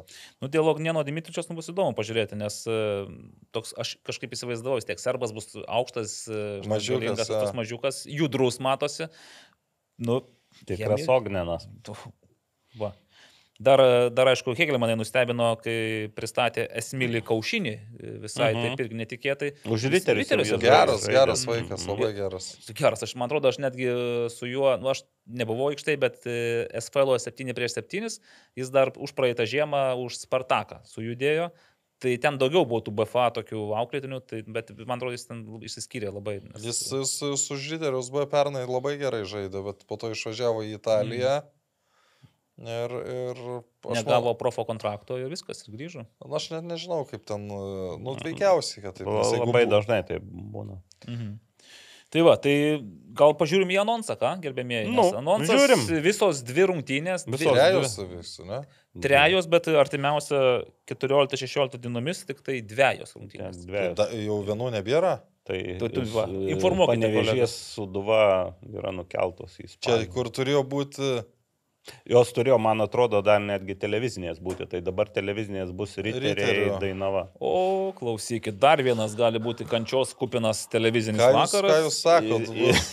Ne, Dar šiaip Nes iš to, ką dabar girdėjau, tai riteriai negali, o Dainava, kaip irgi Dainava jau suprantu, truputį bus uh, gal kita, ne kaip alitui, bet Nu, kita gerai. Nu, aš vertus. tikiuosi, kad riteriai bus kit, kit, Jo. Turi dar ką nors, kokiu, kokiu pasaugoje. Nu, tu, tu turi būti. Nežinau, ar jau bus šituose rungtynėse. Rungtynėse, bet... Uh, Dainavos e, atstovai jokavo, Alitui, sakom, su kuo sekančia, su riteriais, bet sakė, mums ten riteriai jau pažadėjo kerštą už tuos penkis. O, labai, tai, ta, jie labai, labai Taip. įdomus. Tai žiūrėk, tai pradedam, nes ir kitos rungtynės labai bus įdomios ir, ir Ai, beje, be, be, vertingos. beje Taip. va, vakar e, kažkaip e, e, su, su vadimu kalbam ir, e, nu, ir kažkaip jis sako, čia dabar sakau 12 nelaimėtų rungtynių riterių s- Serija. š- serija.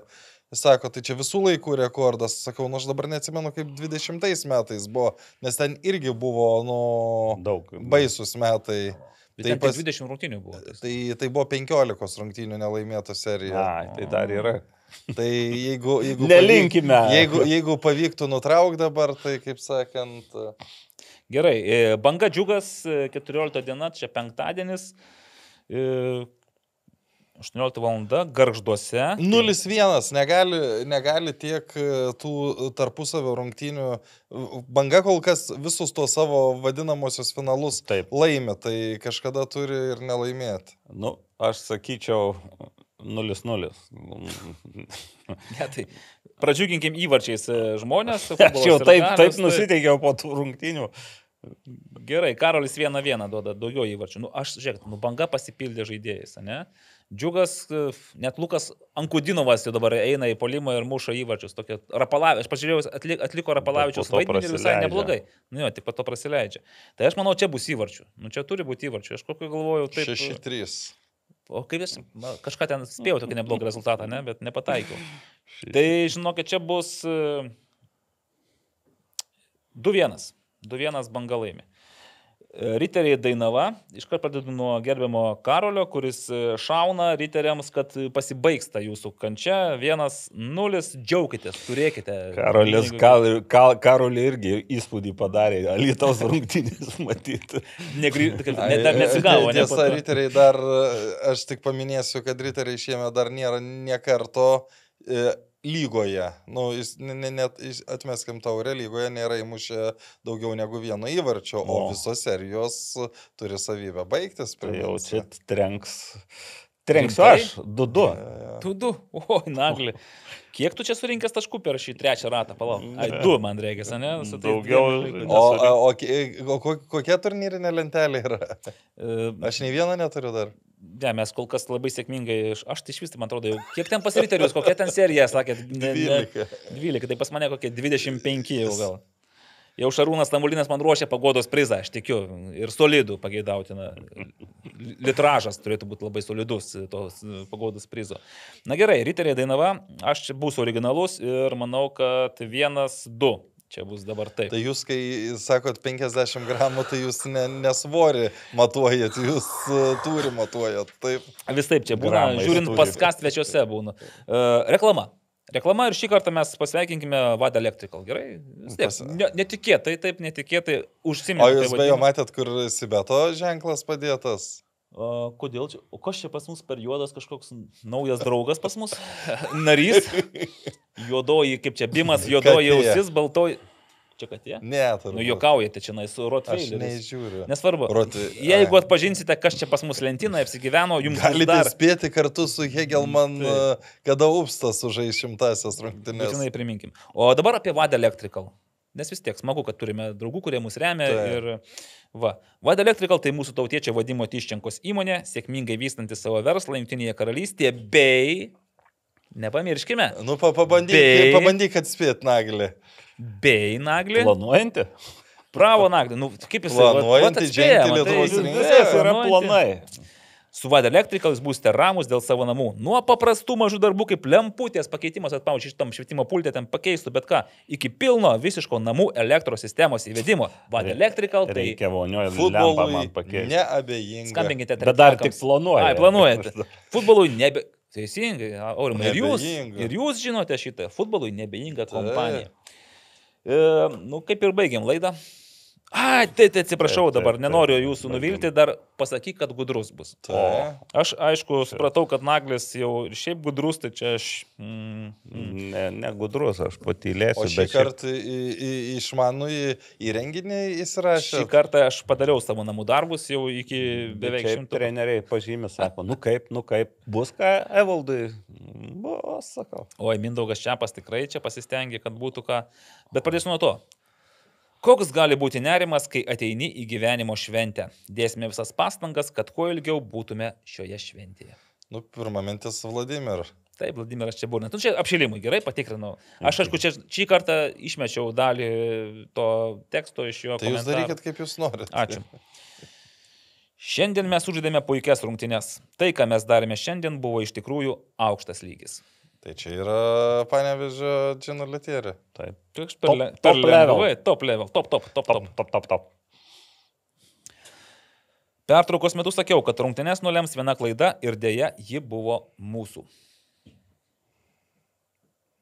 Čia biški mm, jau sudėtingiau, aš tikiu. tikiu. A, viena klaida ir ji bus mūsų. Mhm. O, mūsų. buvo vien- 0-1 nebai- buvo rungtynė. Tai Ai, Kegelman. ne, tai čia šito. Ka- Kas su banga žaidė? Kuznecovas. Ne, ten ne Kuznecovas buvo. Ten buvo, bet aš net jo neišrinkau. Jo, ten buvo asistentas, Asistent- Kuznecovas nekalbėjo, Ne. asistentas kalbėjo Bet čia jis. Ne, Žao Pratesas. apie džiug- džiugo pralaimėjimą. Manau, teisingesnis rezultatas būtų lygiosios, bet futbole tai neegzistuoja. Kuri komanda pelno daugiau įvarčių, tai ir laimi. Kas va tokia va išminties, va tokį pastebėjimą?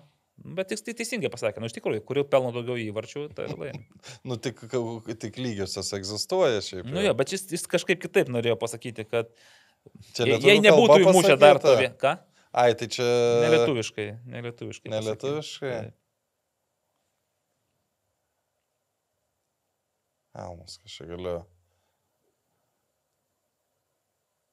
Tas pats žodžio praktikas. Nesi, nesi, nesikankinkite. Antram faktas, tas žvėris prabudo. Reikėjo kentėti, saliginai iškentėjom, bet ne iki galo. Čia čiapas. Iš naujo pagalvokite. Antram faktas, tas žvėris prabudo, reikėjo kentėti, saliginai iškentėjom, bet ne iki galo. Ai, ne iki galo. Nes galas buvo ilgas. Do, do, Dovydas? Dovydas, taip, taip, taip, taip. Buvo pergalė iš norų, buvo pergalė iš kova ir šypsojo mums šiandien to įvartį. Nu, Čia, atsiprašau, Davidai, bet jau žodžių iš dainos Nu, bet čia jau tikra daina. Jo, šypsojo. Nu, Gražiai. gražiai, Davidas, Davidas gražiai Gražiai. šneka. Du skirtingi keliniai. Pirmas kelinys, tai žinot, atrodė tokie komandai, sakiau, bedvasios. Visiškai bedvasios. Nu, čia čiapas. Čia čiapas. Bravo, labai gerai. Po tų dviejų rungtynių, kur paskutiniam sekundėm, minutėm praleidom įvartį ir kad ateis šventė į mūsų, kaip sakyti, daržą, bet dėja, dėja, tas paukštis kaip atskrido, taip ir išskrido. Dovydas. Dovydas. Čia apie... Bet, žinai, Apie, bet, bet čia apie... Ar šventė ateina į daržą, aš galvoju. Čia, vat, Dovydai, ir reikėtų žinai, kai pasiklausti. paukštė, Ir paukštė, tai paukštė irgi atskrido ir įskrido. Dar man e, patiko kažkur Karolio Tretjako irgi palyginimas buvo, kad, e, žinai, yra pasakymas, kad iš, iššokti į kito batus. O jisai pasakė per komentarą iššokti į kito kelnes. Tai čia Karolį irgi reikėtų pagalvoti. Va, tai, Ne, na, jeigu kelnės plačios, kaip Taip, sportinio tai tu, kostiumo. tu gali laisvai iššokti. tu? Laisvai iššokti. Nu, o į batus, tai žinai, batai, pavyzdžiui, pas Karolį 48 ar 9. Tai į tavo neiššoks. Į mano jau būtų labai jau ten, žinai, pirštai užsiriestų.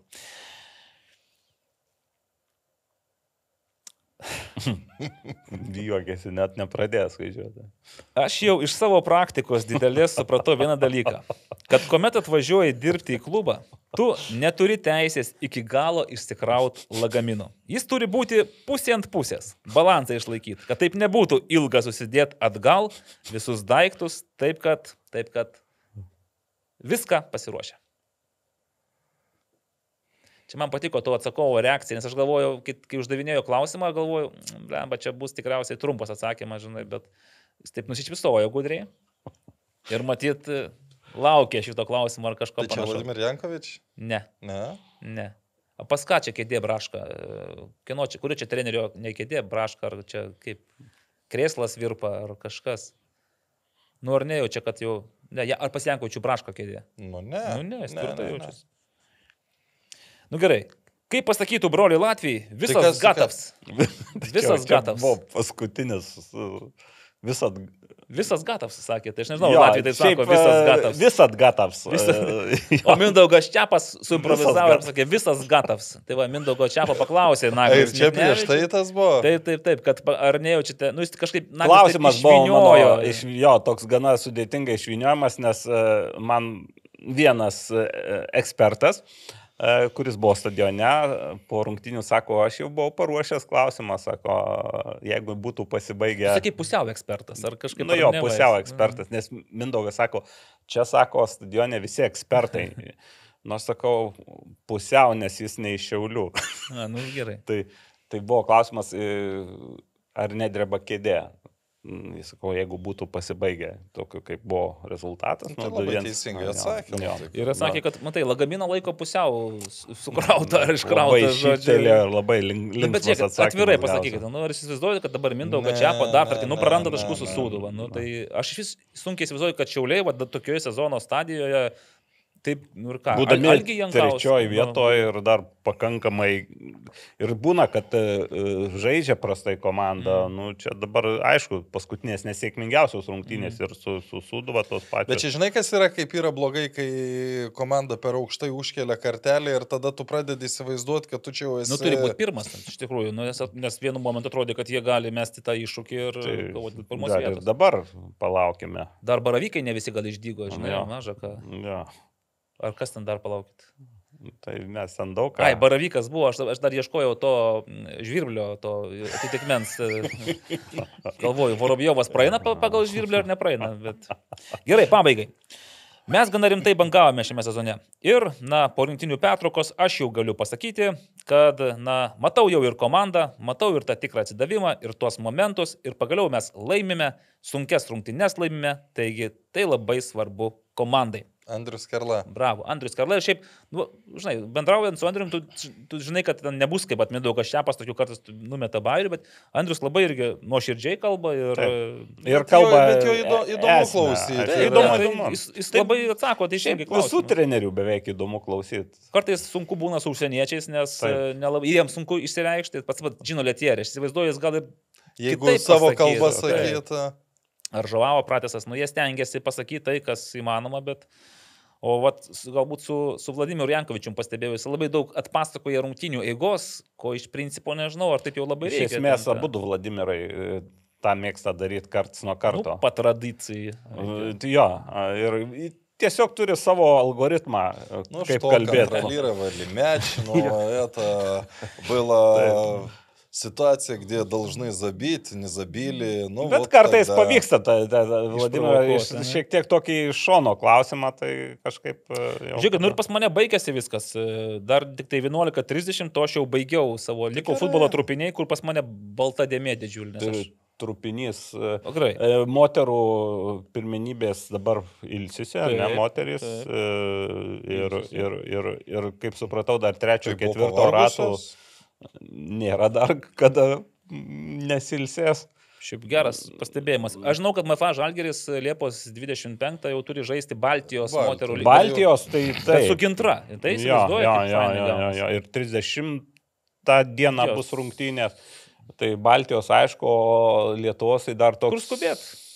Rūkas. Rūkas, nes, Rūkas. nu, kur skubėt, žinai, čia. O šiaip tai jaunimo irgi ilsisi, tai tokia gal... Paplu- paplūdimy pa- paplūdimy žaidė. Kaip baigė, aš- 15, liko 15. tarp 16 komandų. Taip gerai, pra... kaip Ne, tai jie iš- 15, Ne, ne, ne, 16? čia- Buvo iš pradžių pradinė atranka, kur Tai papildė. jiems, la, nu, šiaip, šiaip labai, labai sudėtinga, nes ten tu žaidži 40 laipsnių karštyje ir jie 8 dienas iš eilės. Tai, Aštuonias rungtynės sužaidė per Oho. aštuonias dienas. Tai- Gavosi trys pergalės. tai jeigu iš esmės tų pirmų trijų, trijų pergalių nebūtų, tai toliau ir nu, ne- nebūtų į, pa, į pagrindinę atranką, bet ten tarkim su kokiais Lenkais. Nu, grupė jau buvo Ispanija, Ukraina, Lenkija. Nu, tai tu ukrainiečių ir ispanų iškart e, gali laidot, kaip sakant, rungtynes. O su Lenkais tu gali žaisti, bet uh, tada tu turi turėti uh, nu, visas apli, aplinkybės, o kadangi Lenkai žaidė iškart nuo pagrindinės atrankos. Ir Lenkai žaidė, gausi pirmas rungtynės, o Lietuviai lietuviai ketvirtas. Ir, Ir, ir ir, per ketvirtą, ketvirtą dieną, ketvirtą išėjo. jo, ir, ir, ir, ir gavos taip, kad uh, vienas du pralaiminėjo, tada nesušvilpė rankos lietuvių naudai. Ir, ir, Vienas trys. Ir, ir su, su, su, nu, ko neturi daryti, bet sustojo lietuviai ir gavo trečią įvartį. Mhm. Ir, ir nu, ne, ne, neats- ne, neatsilaikė, o po to, o po to nu, tiesiog jau be dvasios ir be, be jėgų atžaidė tas likusias Tai rungtynes. jo, nu, Ukra... uh, ispanams 2-5 atrodo pralaimėjo, ukrainiečiams dabar, bet panašiai dviejų įvarčių gal skirtumo. Nebuvo ten kažkokių... Nu, ir, ir esmė yra ta, kad e, paplūdimio futbole vis tiek e, pagrindinis turnyras yra ne pasaulio čempionato atranka, į kurią tu nu, vis tiek tu čempionatą nepateksi, bet e, Europos čempionatas, tai lietuviai vėl rugsėjai žais e, 19-24 berots tą savaitę, žais Sardinijoje B divizione. Jie jau ir pernai, ir užpernai kėlė tikslą išeiti į A divizioną. Nepavykdavo. Nepavyko, bet šiemet, nu, kažkaip dvi komandos eis į tą divizioną, gal šiemet pavyks. Nu, Sardinijoje rugsėjai nebus, šal, nebus karšta, nebus 40 Nu, laipsnių, jo. tai jau, bet šiaip aštuonias išėlės sužaisti ant smėlio. Taip, Tai taip, taip, taip, taip. taip. Nu, Ir čia jau po to, nežmoniška. jau kai pralošė toj atrankos grupiai, tai ten žaidė dėl vietų, tai šeimininkam 2-3, tai gal buvo gal tokios, nu, galima sakyti, paraščiausios gal rungtynės, nu, nes. Bet e, po to paskutinės jau dėl 15 vietos su graikais 4-4 ir, ir išlygino, ketvirtą įmušė ir po to baudinės, manau. Jo, jo. Mm. Tai čia ta, ką nors mums duoda, neduoda tas 15 Ne. ir tai 16. Garbę. Ne, nu tai ne paskutinį. Visi, ne, i- yra vis tiek pirmą kartą patekai į pagrindinę pagrindinę atranką, nes anksčiau vis visą ten. laiką baigdavai. Preliminarioj. Mm. Nu, gerai, aišku, ir patirtis vis tiek žaidėjams. Nu tai čia mi- milžiniška. Preliminarioje žaidė, laimėjo prieš čekus, kurie šiaip kotiravosi gal net Mm. ir geriau nei lietuviai prieš švedus čekus. Nu, Dar vieną komandą, neatsimenu. Mm. Gerai, ką dar nori patrupinti, nes aš tiesą sakant neturiu Malta, man atrodo, gali būti. Malta buvo, taip. Mm, Tai Maltas toks rūpinys. Aha. Nu ką, o daugiau tai uh, kažkaip ir nėra ko trupinti. Gražu. Tų, antra lyga išėjo į pertrauką. Ai, nu, tai patrupinsiu, tai sveikata e, pabėgo iš paskutinės vietos prieš e, pirmo rato. Bet aš Tai skaičiau, kad krenta vis tiek dvi. Iš, Taip. nežinau, ar įmanoma iš antros lygos iškris, nes aš man atrodo lengviau būtų praplėsti tiesiog dalyvių sąrašą, žinai. Tai jeigu bus Ne, ten norinčių. būna norinčių, nenorinčių, dažnai būdavo bent jau, kai kitos komandos, kurios ir turėdavo teisę, tiesiog dėl finansinių dažniausiai priežasčių atsisakydavo žaisti. Tai, tai iš- išlikdavo, dabar bus matyti. Mhm. Tai va. Tai gerai, pirma lyga irgi ilsisi, grįžta Taip. tik tai Liepos pabaigoje, tai mes artimiausias e, kelias, kelis epizodus tokie būsime europinių, europiniai. Pirmadienį dabar. Ir gal, gal kokį nors bus ten judesiai, transferų, nes ir pirmoji lygoje jau matau, minė su keliais žmonėmis atsisveikino, tai matyti ir ten bus šiek tiek tas O perėjimas. matėte, mes Stanedą e, jau laidojam, laidojam, o iš plungės Babrungo į Stanedą tik tai švysti ir perina žaidėjas legionierius. Aha, Tai ir, kaip čia dabar suprast? Nu, O jau buvo kalbų, kad e, veteranai tai nebegali. veteranai ir ne, nežaidžia. Nu, O, O Stanedas vilioja legionierius iš Babrungo. iš Babrungo. Tai nebent tas legionierius toks. žinai, Gali būti pigesnis šiaip. Arba nežinia, ką jis ten veikia. Ai, vakar dar, kas man labai patiko rungtynėse su, mm, su Strūga, sėdėjo vis tiek tokioje ložiai, kur daug žmonių žinančių apie futbolą šį beitą. Na, tai už nugaros ten vaikinai rusiškai kalbėjosi, iš pradžių pirmą kėlinę apie krovinių pervežimus, ten fūras ir panašiai, o paskui grįžo į futbolą, nu, ir sako, nu, taip, kas čia vyksta pas mus, taip. Ir maždaug tai klausė kitas, tai kas čia žalgerio vartuose, koks čia tas užsienietis? Ne, sako, čia Gertmanas, geras, geras, sako ten. Jam sako, kazakai siūlė čia po praėjusio sezono pas save pervažiuoti, bet e, Vilma pakėlė jam atlyginimą ir jis pasiliko. Tai sako, tik pakėlė. Tai dabar 8 tūkstančius gauna. Nu, prašau, tai kur jūs daugiau tokios informacijos galite gauti, ką, kaip negu sėdėdami tribūnose. O, o tikrai jam kazahai siūlė, nes aš, Na, aš jau nebe, kad- aš galvoju, kad Izraelis kad- siūlė. Kad tik bet- Izraelis siūlė. Bet jie, jie gal geriau. Panašus ten geriau. Nu, tai logistika, kroviniai, fūros, gal su Kazakstanu kažką turi. Tai, va, bet A. 8 tūkstančiai. O Vilma žadėjo, kad 5 tūkstančiai. Tai Taip, bet čia buvo pernai, nu tai gal pasikeitė Taip. situacija. Taip.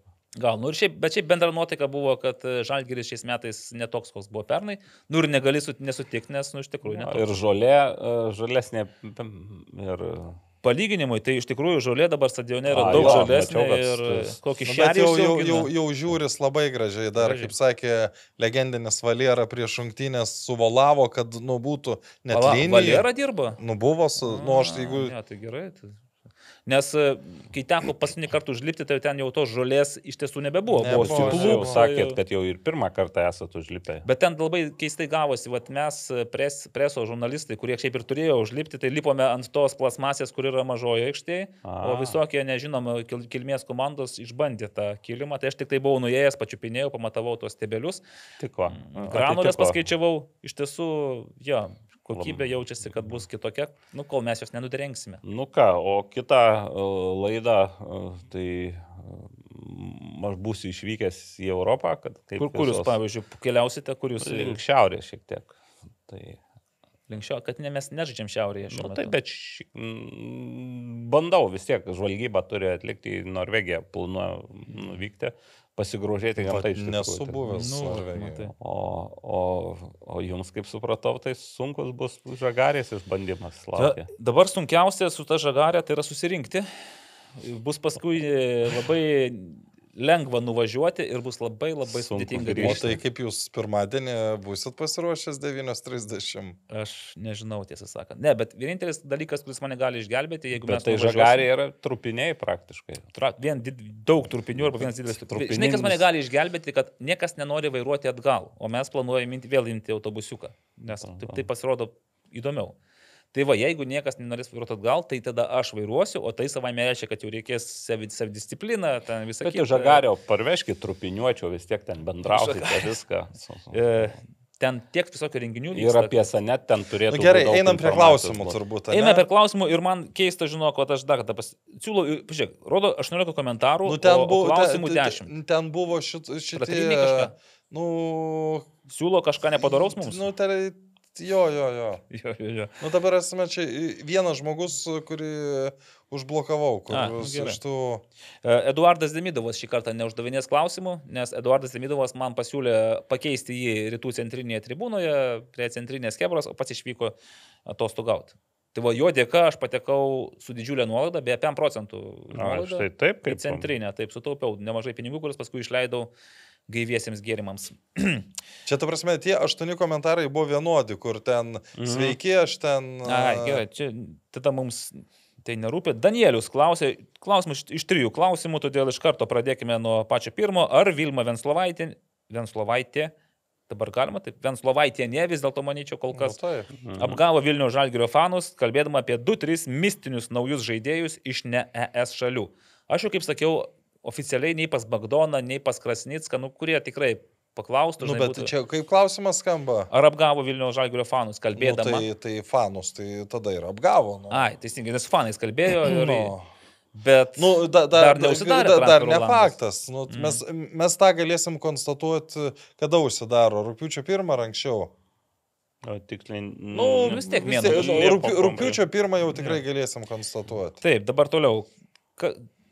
4-5 žaidėjai, kuriais Vilnių Žalgiris nebuvo patenkintas, šiandien žaidė čempionų lygoje. Čia klausimas, tai ar tie 4-5 žaidėjai šiandien žaidė čempionų lygoje? Jam čia atsakė. Taip, taip. Nu, žinom, kad Nauris Petkevičius jau nežais čempionų lygoje, žais konferencijų komandoje. lygoje. Taip. Dabar dėl...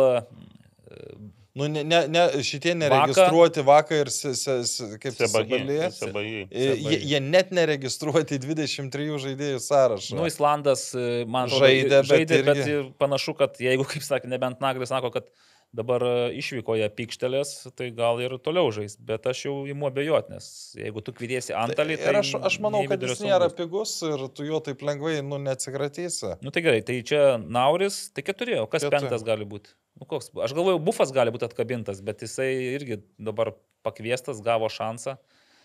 Bet aš matyčiau va tokius penkis. Tai Bufas, Vaka, Sebai, Nauris jau atsisveikino ir Williamsonas. Aš tai bufą, manau. Paliktum? Nu, tai ke- keturi tegul būna. Gerai. Ir trečias, kas kaltas dėl tokio Vilniaus žalgerio fiasko? Tai čia Danielis, man turiu menį tą 0-0, čia kaip fiasko Nu, dar. dar, dar ne fiasko. Dabar pateikė variantus. Ar Vilma, kad nedavė pinigų geriems žaidėjams, ar čia Būrinas, kad nesupranta, kad tie žaidėjai ne europinio lygio. Mm. Čia dar ank, anksti kalbėti apie fiasko. O, Nes, nes pernai, pernai po, po rungtynių su po- Balkanė tai atrodė, Aš atsimenu, kai čia buvau, klausiausi jūs, nes aš tų rungtynių nemačiau, o čia sakėte, nu taip tokios tragiškos, taip blogai viskas. Nu, ne, ten rezultatas buvo tai labai geras, geras, pagal rungtynį. pagal turinį ten buvo kur kas. Bet žiūrėkit, bet iš tų, Nu, nu, iš tų ne, biudžetinių jie- pinigų, bet nu, panašu, kad kažkaip tas tie Nu, nes, pinigai... ne, nesudirbo, nes, Nesu- ne- nes, nu, im- Bent kol gal ne- nesusidėlioja tas e, puzlis, kaip sakom. Nes kur- kur imki, imkim pagal tai, kad e, biudžetas padidėjo, e, tu už Oregą, kad ir nedaug, bet vis tiek gavai pinigų, nu, bet komanda susilpnėjo po praeitų metų. Nu, žaidimo prasme, tas. Ne, Tai ir, žai, ir žaidėjais. Nu, tie žaidėjai tarsi potencialo turi. Nu, aš, aišku, nu, žinai, įmė Leonardo Vaką. Nu, nei aš ten žinau, koks ten Bolivijoje tas futbolas, bet jei- tai jeigu tu jį kvietiesi, tu, kurį laikai save, nu, ar turi ten tą skauto, vadinkime, tą nuojautą, uoslę, ar kas ten kviečiasi. Nu, tai, tai žinai, kažką tu turėjo vis, matyti. vis, vis, visada tu negali pataikyti su tais žaidėjais, nes Negali. tu atsimink, kad atvažio, jis atvažiavęs iš Bolivijos, kur į, tada, kai tu treniruojas, tavo šeima miega, kada, nu, tu, tu, tu ta Mhm. prasme, tu... Nu, tai kaip Lamantija, pavyzdžiui, Tai irgi. irgi, irgi, nu, ta prasme, iš jo, kai jis atvyko, iš jo buvo laukiama, kad jis e, bus su, su, su Brisola lyderiai. Nu, Mhm. Nu Tai- taip, nu taip, su Brisola jam pabūti lyderiu nepavyko, tiesą sakant. E, Nors beje, Lamantija pagal, pagal Instatą yra geriausias reiterių žaidėjas. Tai, žinai, kai taip žaidėjo tokį, aš manau, kad džiugo žaidėjas geriausias buvo Malcolmas Davidas, kuris praktiškai nedarė klaidų, nes visą laiką perėmęs kamuolį atiduodavo artimiausiam komandos draugui. Va, viskas. Klaida buvo nebent, kai jisai pradėjo. Tai, tai, tai akivaizdu, reiterių priekiniai žaidėjai negali būti geriausi, nes 9 varčiai per 21 rungtynės. Tai... Na, jo, čia, vat, kai pamačiau šitą statistiką, nepatikėjau, paskui paskaičiavau ir patikėjau. Tai, tai esmė yra ta, kad e, aš dar kartą pasikartosiu. Oliveiros, Oregos, Liubis Lavlevičiaus, tokio lygio žaidėjų. Nu, nu gerai, Kendišas, kuris lygiai verčiai p- Nu, pakeitė. O kar, karašymą. Na, gerašymą. Heigelmanas jis labai geras buvo, bet jeigu mes kalbam apie žalgerį, tai... Nu, neranda dar savo vietos, iš tikrųjų. Nu, tai tas pats Josė Pastadičius pernai, kad ir kaip ten jis merkė, bet jisai įmuždavo tų įvarčių karts nuo karto vis tiek. Tai kita vertus, kiek tu gali laukti, pavyzdžiui, čia Burnas, nu jisai pasikvietė tos žaidėjus, nu, kiek jisai gali laukti, kol jie pradės, nes jis jau anksčiau sakė tuose filmuose, ten 21 metų, ten, kad e, turi duoti man kažką, turi duoti man rezultatą tenais. Ne valstybinė kalba, bet jisai, tai jam reikia, jis negali duoti už gražias akis, jis Ne, tai ypa, ypač, kai, kai dešimt laukiančių tą pačią. Gerai. Mantas Arbanevičius, šitas klausimas, kuris pats pirmas atėjo. Kurio trenerio kėdė dreba labiausiai? Nu, aš nežinau, ar yra dabar kieno drebėtų. Taip jau labai ryškiai. Iš apačios visą laiką reikėjo tokiu atveju. Tai, Tai nu, taip, bet jeigu... Janas šiaip ir nedreba, gali keisti tai du trenerius per metus. Nu, bet, bet dabar, ar dabar, dabar keis? nekeis. Ar dabar gal kad tik leis tam treneriui pasikviesti dar Tai kelius dabar serbus, čia, Balkanų čia, čia, čia mat, ta- ta- tas yra, kad e, lei- leido treneriui atsivežti savo žaidėjus, e, nes šitoj vietoj man dėl ko e, Vladimiras Jankovičius patiko, kai jis atėjo ir pasakė, sako, mes su ta komanda nelaimėsim. Nu, tarkim, buvo koks Olego Vasilenkos atvejis, kai ten e, yra komanda, Janas iškelia užduotis ir e, linksi treneris galva, kad gerai, čia gerai, o kada jau pradeda neit, tai sako, aš neturiu žaidėjų. Tai mm. Kodėl tu sezono pradžioj nesakai, kad neturi? Nu, Nu, taip, tai turi turėti stuburą ir kiaušus, kad pasakytum vadovui, kad sakytum, žinai. Bet, žinai, Jankovičių paprasčiau, jį pakvietė. Jį pakvietė į degantį laivą, skęstantį laivą, kaip reikia sakyti. skęs. Į klumpės iššokta reikelnes. Jis skęstantį laivą, žodžiu. Ir jis yra kaip kapitonas, jis gali sakyti tiesiai šviesiai. Su šita įgula aš neišplukdysiu, tai reikia kažko daugiau. Ten man patiko, kad Karolis suskaičiavo visus serbus, kurie pernai buvo. Tai pasirodo, vat, keturi, nu, serbai dar vienas e, iš Balkanų, kitas bičiulis, tai su jais pernai riteriai visai neblogai išplaukė. Martinas Čekavičius, kiek balų iš dešimties skirite teisėjui, kuris teisėjavo rungtynėse su Struga Žalgiriui? Aš manau, kad jis neblogai suteisėjavo. Jis, ma, Išskyrus tą, tuos, nu, išskyrus tavo, ką minėjau, ir audimas, kad e, nulinė tol, tolerancija, kur jau retai būna Bet futbole. nuosekliai buvo, nuoseklus. Taip, nu, nebuvo, ten, bet- ten, ten, ten kai kur jau buvo, per, nu, ta prasme, tikrai buvo epizodų, kur, nu, jau net nenulinė tolerancija, tiesiog, nu, iš vis kovoti ne, Mhm. neduodi. Tai čia jau yra, nu, Nu, klaidos. Čia ne, ne, negali sakyti, kad čia e, teis, teisingai, nes jis visur švi- švilpia. Aš iš savo daržo pasakyčiau, jeigu taip SFL tokia būtų nulinė tolerancija, tai greičiausiai abi komandos būtų žiauriai nepatenkintos teisėjų, nes galiausiai, nu, kaip ten bebūtų futbole pastumti kažką ranką ar paliesti, nu, tarsi tu yra normalus žaidimo dalis. Taip. Jeigu žmogus krenta, kai tu jį palėti, tai čia... Sakau, man, man labiausiai įsiminė pirmo kėlinio pabaigoje du epizodai su Donatu Kazlausku, kur, nu, nu tiesiog kovoja dėl kamulio ir, ir, ir ši, bet, bet, bet šiaip apskritai vertinant, nu, nu, nebuvo jau toks blogas. Nu, aštuonis duotum balus. Nu, aštuoni yra blogas balas. Ai, blogas balas. Blogas. Nu, čia e, kaip, Nu, mes kaip skaičiuoja.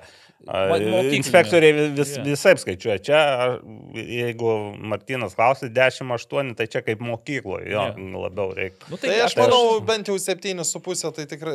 Nu, tarp 7-8, kitaip sakant. Aš Nes a, man, man sakau, šitas uh, antras asistentas, uh, nu, aš mačiau dvi, dvi nuošalinės klaidas, kur ta prasme, uh, tai, tai jau, jau šito negali vertinti kaip, kaip, kaip, kaip gero.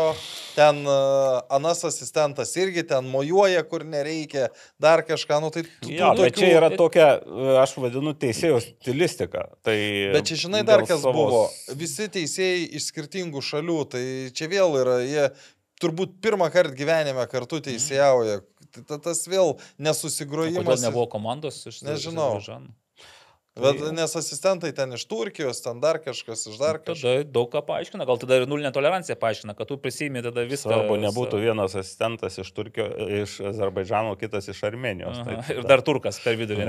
Yra buvo kažkada sakė, kai žaidė, dabar galvoju, uh, armenai su, su, su gruzinais ir teisėjavo azerbaidžianietis. O, Nu, Nu, bet čia sovietiniais laikais dar. Gerai, Rokas Gipas labai griežtai klausė, kokie šansai procentais po 0-0.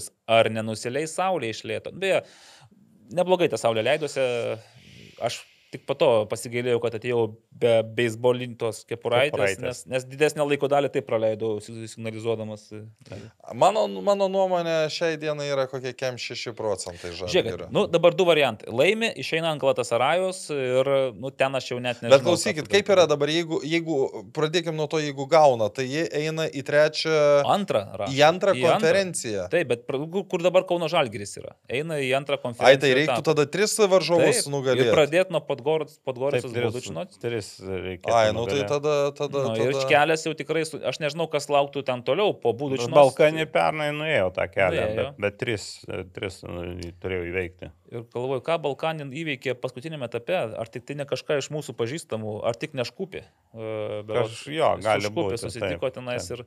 Nu, Bet kai Balkanį dabar sutaršė Ludogorėca, tai visokių minčių kyla. Per metus galėjo pasikeisti. Bet tikrai Žalgiriui, nu žinai, dabar laimėk, šiek tiek lengviau viskas. Ne, tai ne, ne šiek nu, tiek. Europą, tai bet dar vis tiek to reikės laimėti ir Reikės, Bet tu dar gausi tikrai savo lygio varžovą. Nu, tu praloši Galatasarajui, tai ten visi iškritinės jau. Tu eini, ne, nepamirškim, čempionų Nu, taip, taip, keliu, čempionų kur... keliu.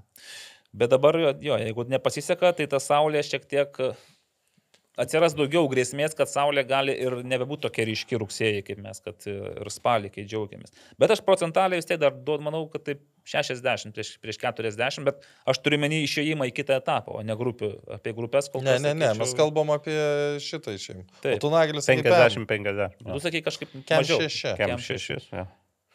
Aha. įsidėmėkite tuos skaičius, po to galėsite juoktis iš kolegų. E, Lo ir Re klausia, kaip manot, ką O Žalgiris... kodėl ir? Čia taip ir? Ne, Lo Re. Lo Re. Toks, nežinau, kur vardas, Loreta gal. Kaip manote, ką Žalgiris gali nuveikti Europoje? Nu kiek, pateks į grupės?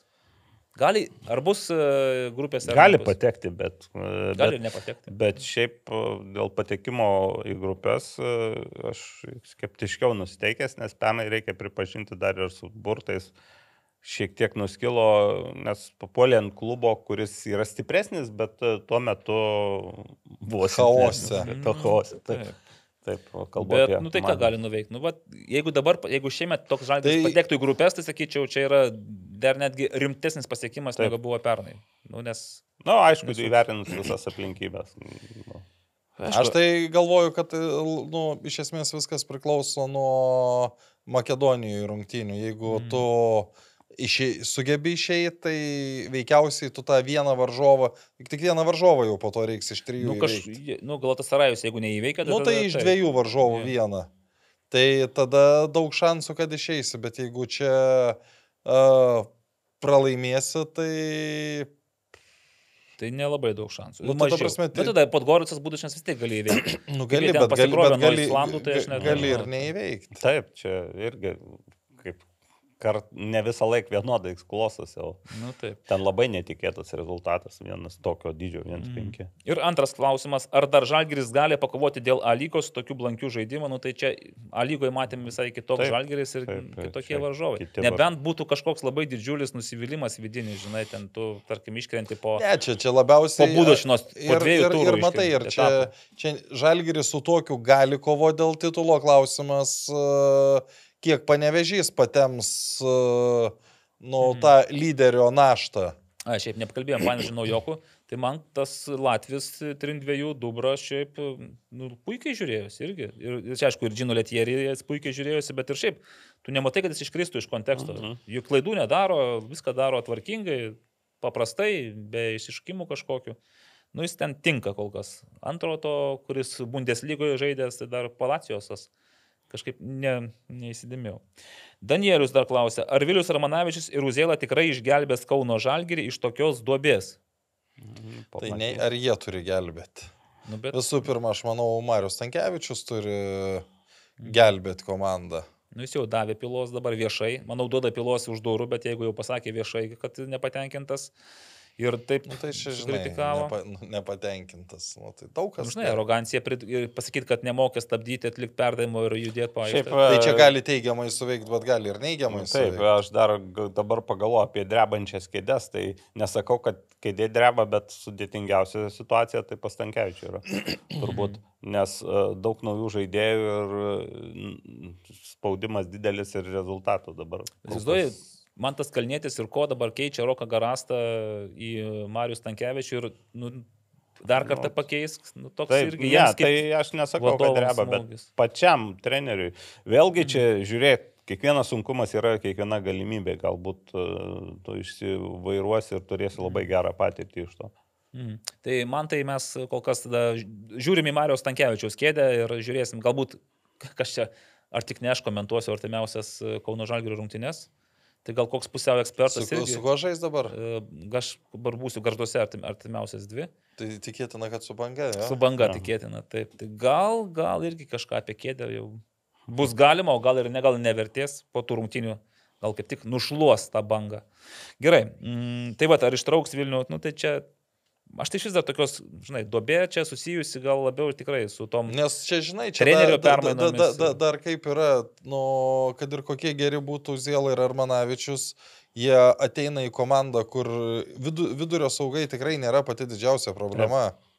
Taip, ne, ne tie, būtent apie atakuojančius gal labiau. Ir, ir Kas dabar jau ir žinai. Dolžnikovas, Fasė ir... Valskis. Ir va. Va. Valskis jau buvo registruotas. Nu, bet Buvo. A jis žais, nu žais šiemet tikriausiai, ne? Ir žinot, Buvo. va, kada prisiminiau, Kauno Žalgiris, kad ir kokie būtų duobė, gali laimėti taurę. Taip. Laimės taurę ir mes tas duobės, kad ten bus ketvirti ar penkti A lygoje, nu gerai, medalių nėra, taurė yra. Europoje yra. trofėjas. Jeigu Taip. laimės. Jeigu laimės, nes ir riteriai gali laimėti taurę. Tai Dar jau ne- nešneku apie šiaulius, kurie. Yra dar. Gytis Malinauskas, nu čia jau e, jums, gerbimieji komentatoriai, e, ar komentatoriams komentuojant nepopuliarias rungtynes ar sporto šakas, nėra jausmo, kad komentuoji vienas savo niekas nežiūri ir kažkaip net nejauku. Ar būna jums, kad komentuojat, komentuojat? Ne. Bobslėjų kokį nors. Aš, aš galiu pasakyti, nu, ta prasme, čia nėra tas dalykas, kai pavyzdžiui, nu, esi ten dainininkas ir tu matai, ar pas tave Tuščio- jo, e, tuščioje salėje. 15 žmonių ar ten 10 tūkstančių. E, aš visą laiką esu vienodai užsidaręs toj pačioj komentatoriaus būdelėje ir aš, žinogi, aš ne, ne, nežinau, ar ten mane tiek žmonių girdi, ar kitiek. Nu, tai visada, nu, man atrodo, kad visada vienodai, e, nu, aišku, ne, nega, ne, kaip čia, net e, tą patį futbolą ar krepšinį ne visada vienodai komentuoji dėl to, kad e, nu, būna įdomiau, būna neįdomiau. Bet realiai tarp tų sporto šakų, tai nežinau, nu kaip moki, taip bet to komentuoji. Taip, bet to vis yra tas žiūrovas, e, visi artimieji, tai praktiškai ir žiūri, Mhm. sakykime, kokią tu sporto šaką be komentuoti. Kadangi Gytis čia užkabino moterų lygą ar studentus, tai man, aš atsimenu iš savo tos ne- nedidelės praktikos, tai sunkiausios buvo rungtynės, kurias teko komentuoti, kai elitinės mergaičių lygos, ten arų 17, gal pernai praėjusią vasarą, Atsimenu. kažkaip šovė žalgiriui mintis, kad reikia pafilmuoti su Ukmerge.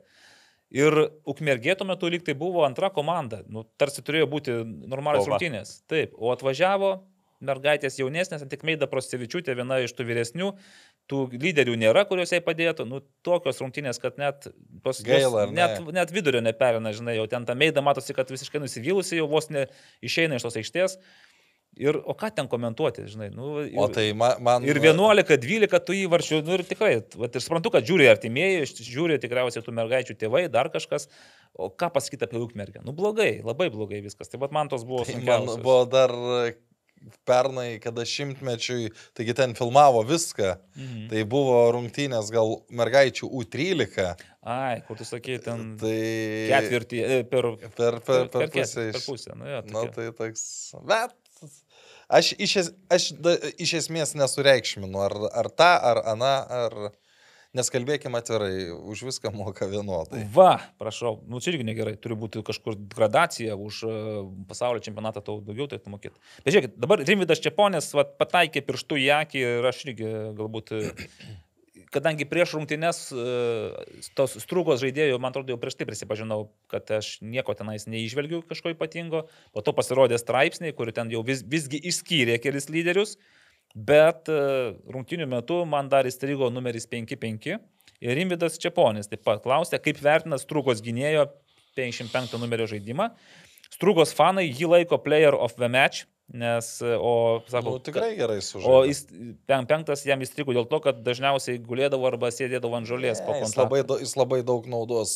Da, jis, pavyzdžiui, dar pirmam kelny, kol jis negulėdavo ir nesėdėdavo, jis, jis visas dvikovas laimėjo. Taip, nu čia būtent, žinai, prieš Ojavusį laimėti dvikovas, aišku, jis niekada nebuvo vienas prieš vieną taip paliktas ten, visada jį saugodavo ir buvo epizodų, kai, nu tiesiog, jis prilaiko Ojavusį truputėlį, kitas, nu, natūralu, toks yra vidurio gynėjų žaidimas. E, Galų gale e, labai daug prisidėjo prie to, kad būtų eliminuotas pavojingiausias žalgerio polimo ginklas. Tai, tai turbūt e, neveltui. ir O, o, o, o, o, o, o kad gulėjo, tai ne jis vienas gulėjo ir čia aš e, tą rašiau ir aš pasikartosiu. Aš manau, kad žalgeris tiem balkaniškiem, nu ne tik žalgeris, bet ir teisėjai tiem balkaniškiam bairiam, nu nebuvo pasiruošę. Svarbu, kad būtume pasiruošę mes kitą savaitę, nes jeigu susitinkame pirmadienį, Pirmadienį. Tai kalbėsime jau labiau ne apie Žalgerį, o apie Hegelmanus Panevežį ir Žagarę greičiausiai. Nu, jeigu Aš aš žinau tik, koks eiliškumas bus. Bet Ne, žagarė. nežinau, ant kokios putos aš įplauksiu į, į tą šiaurės studiją, bet tikiuosi, kad viskas bus gerai. Jūs, e, jums bus paruoštas Wolfas Engelman e, nealkoholinis. Jau tikrai- Pilsner su žaliųjų citrinų sultimis. Nebejoju, E, kaip pa- skaniai gersis jis man pirmadienį šitas nealkoholinis pilsneris. Gerbėmieji, tai tiek šiandien rekordiškai trumpa mūsų e, Tai to ir pasi, 45-oji. pasidžiaugime. tuo. Pasidžiaugime tom, dėkoju visiems, kurie... Čia kaip, kai atsimenu, kai legendinis Saulis Čirba sulaukė 45-ojo gimtadienį, jis sakė, kad pirmas kelnys baigės. Tai, O dabar, Aurimai, gal dar padėkoti mūsų rėmėjams, nes jums labai puikiai sekasi. tai išvardinti. e, Sibetas, Vad Electrical, Unika geriam, Unika geriam. Jo, kad Atsakė. ir kitiems, beje, telšiuose, žinau, kad nepas, ne, nepatikėsite, bet mačiau nemažai žmonių su unika buteliukais. Ir galvoju, ar ten tiesiog jie, nu, tribūnose. Vieni nešasi, aišku, tuos e, rankinukus, o kiti su unika, o kiti. Kiti jodas, O, matyt, vertina jodą Jodą, vertina. taip. Tai va, tai tiek linkime dabar mūsų kitiems dviems Lietuvos futbolo klubams sėkmės, kad būtų mums e, pozityvo pirmadienį ir... e, susitiksim. Ir rytoj, rytoj su gal Kaune dar susitiksime. Ir dar apie žaidimą, Aurimai. Ai, nu dar paskutinį kartą. Tai spėk, nu aš pa, pa, ir Facebook'e tą pažymėsiu, tai bus galima ir Facebook'e spėti šį kartą, ir YouTube'e, tai iki ketvirtadienio 12 val. kada Klaudijus Substas, Hegelman Sudėti. komandoje Sužais šimtasis rungtynės Liepos 13, Liepos 30 ar rugsėjo 6. Ar kada nors kitą kartą. Ar Nu, kada nors kitą kartą. Tai va, Tai labai puiku. Tai ačiū visiems, dalyvaukite, žiūrėkite, komentuokite ir mylėkite mus. Sybet, lošimo automatai, lažybos, ruletė, stalo lošimai. Neatsakingas lošimas gali sukelti priklausomybę.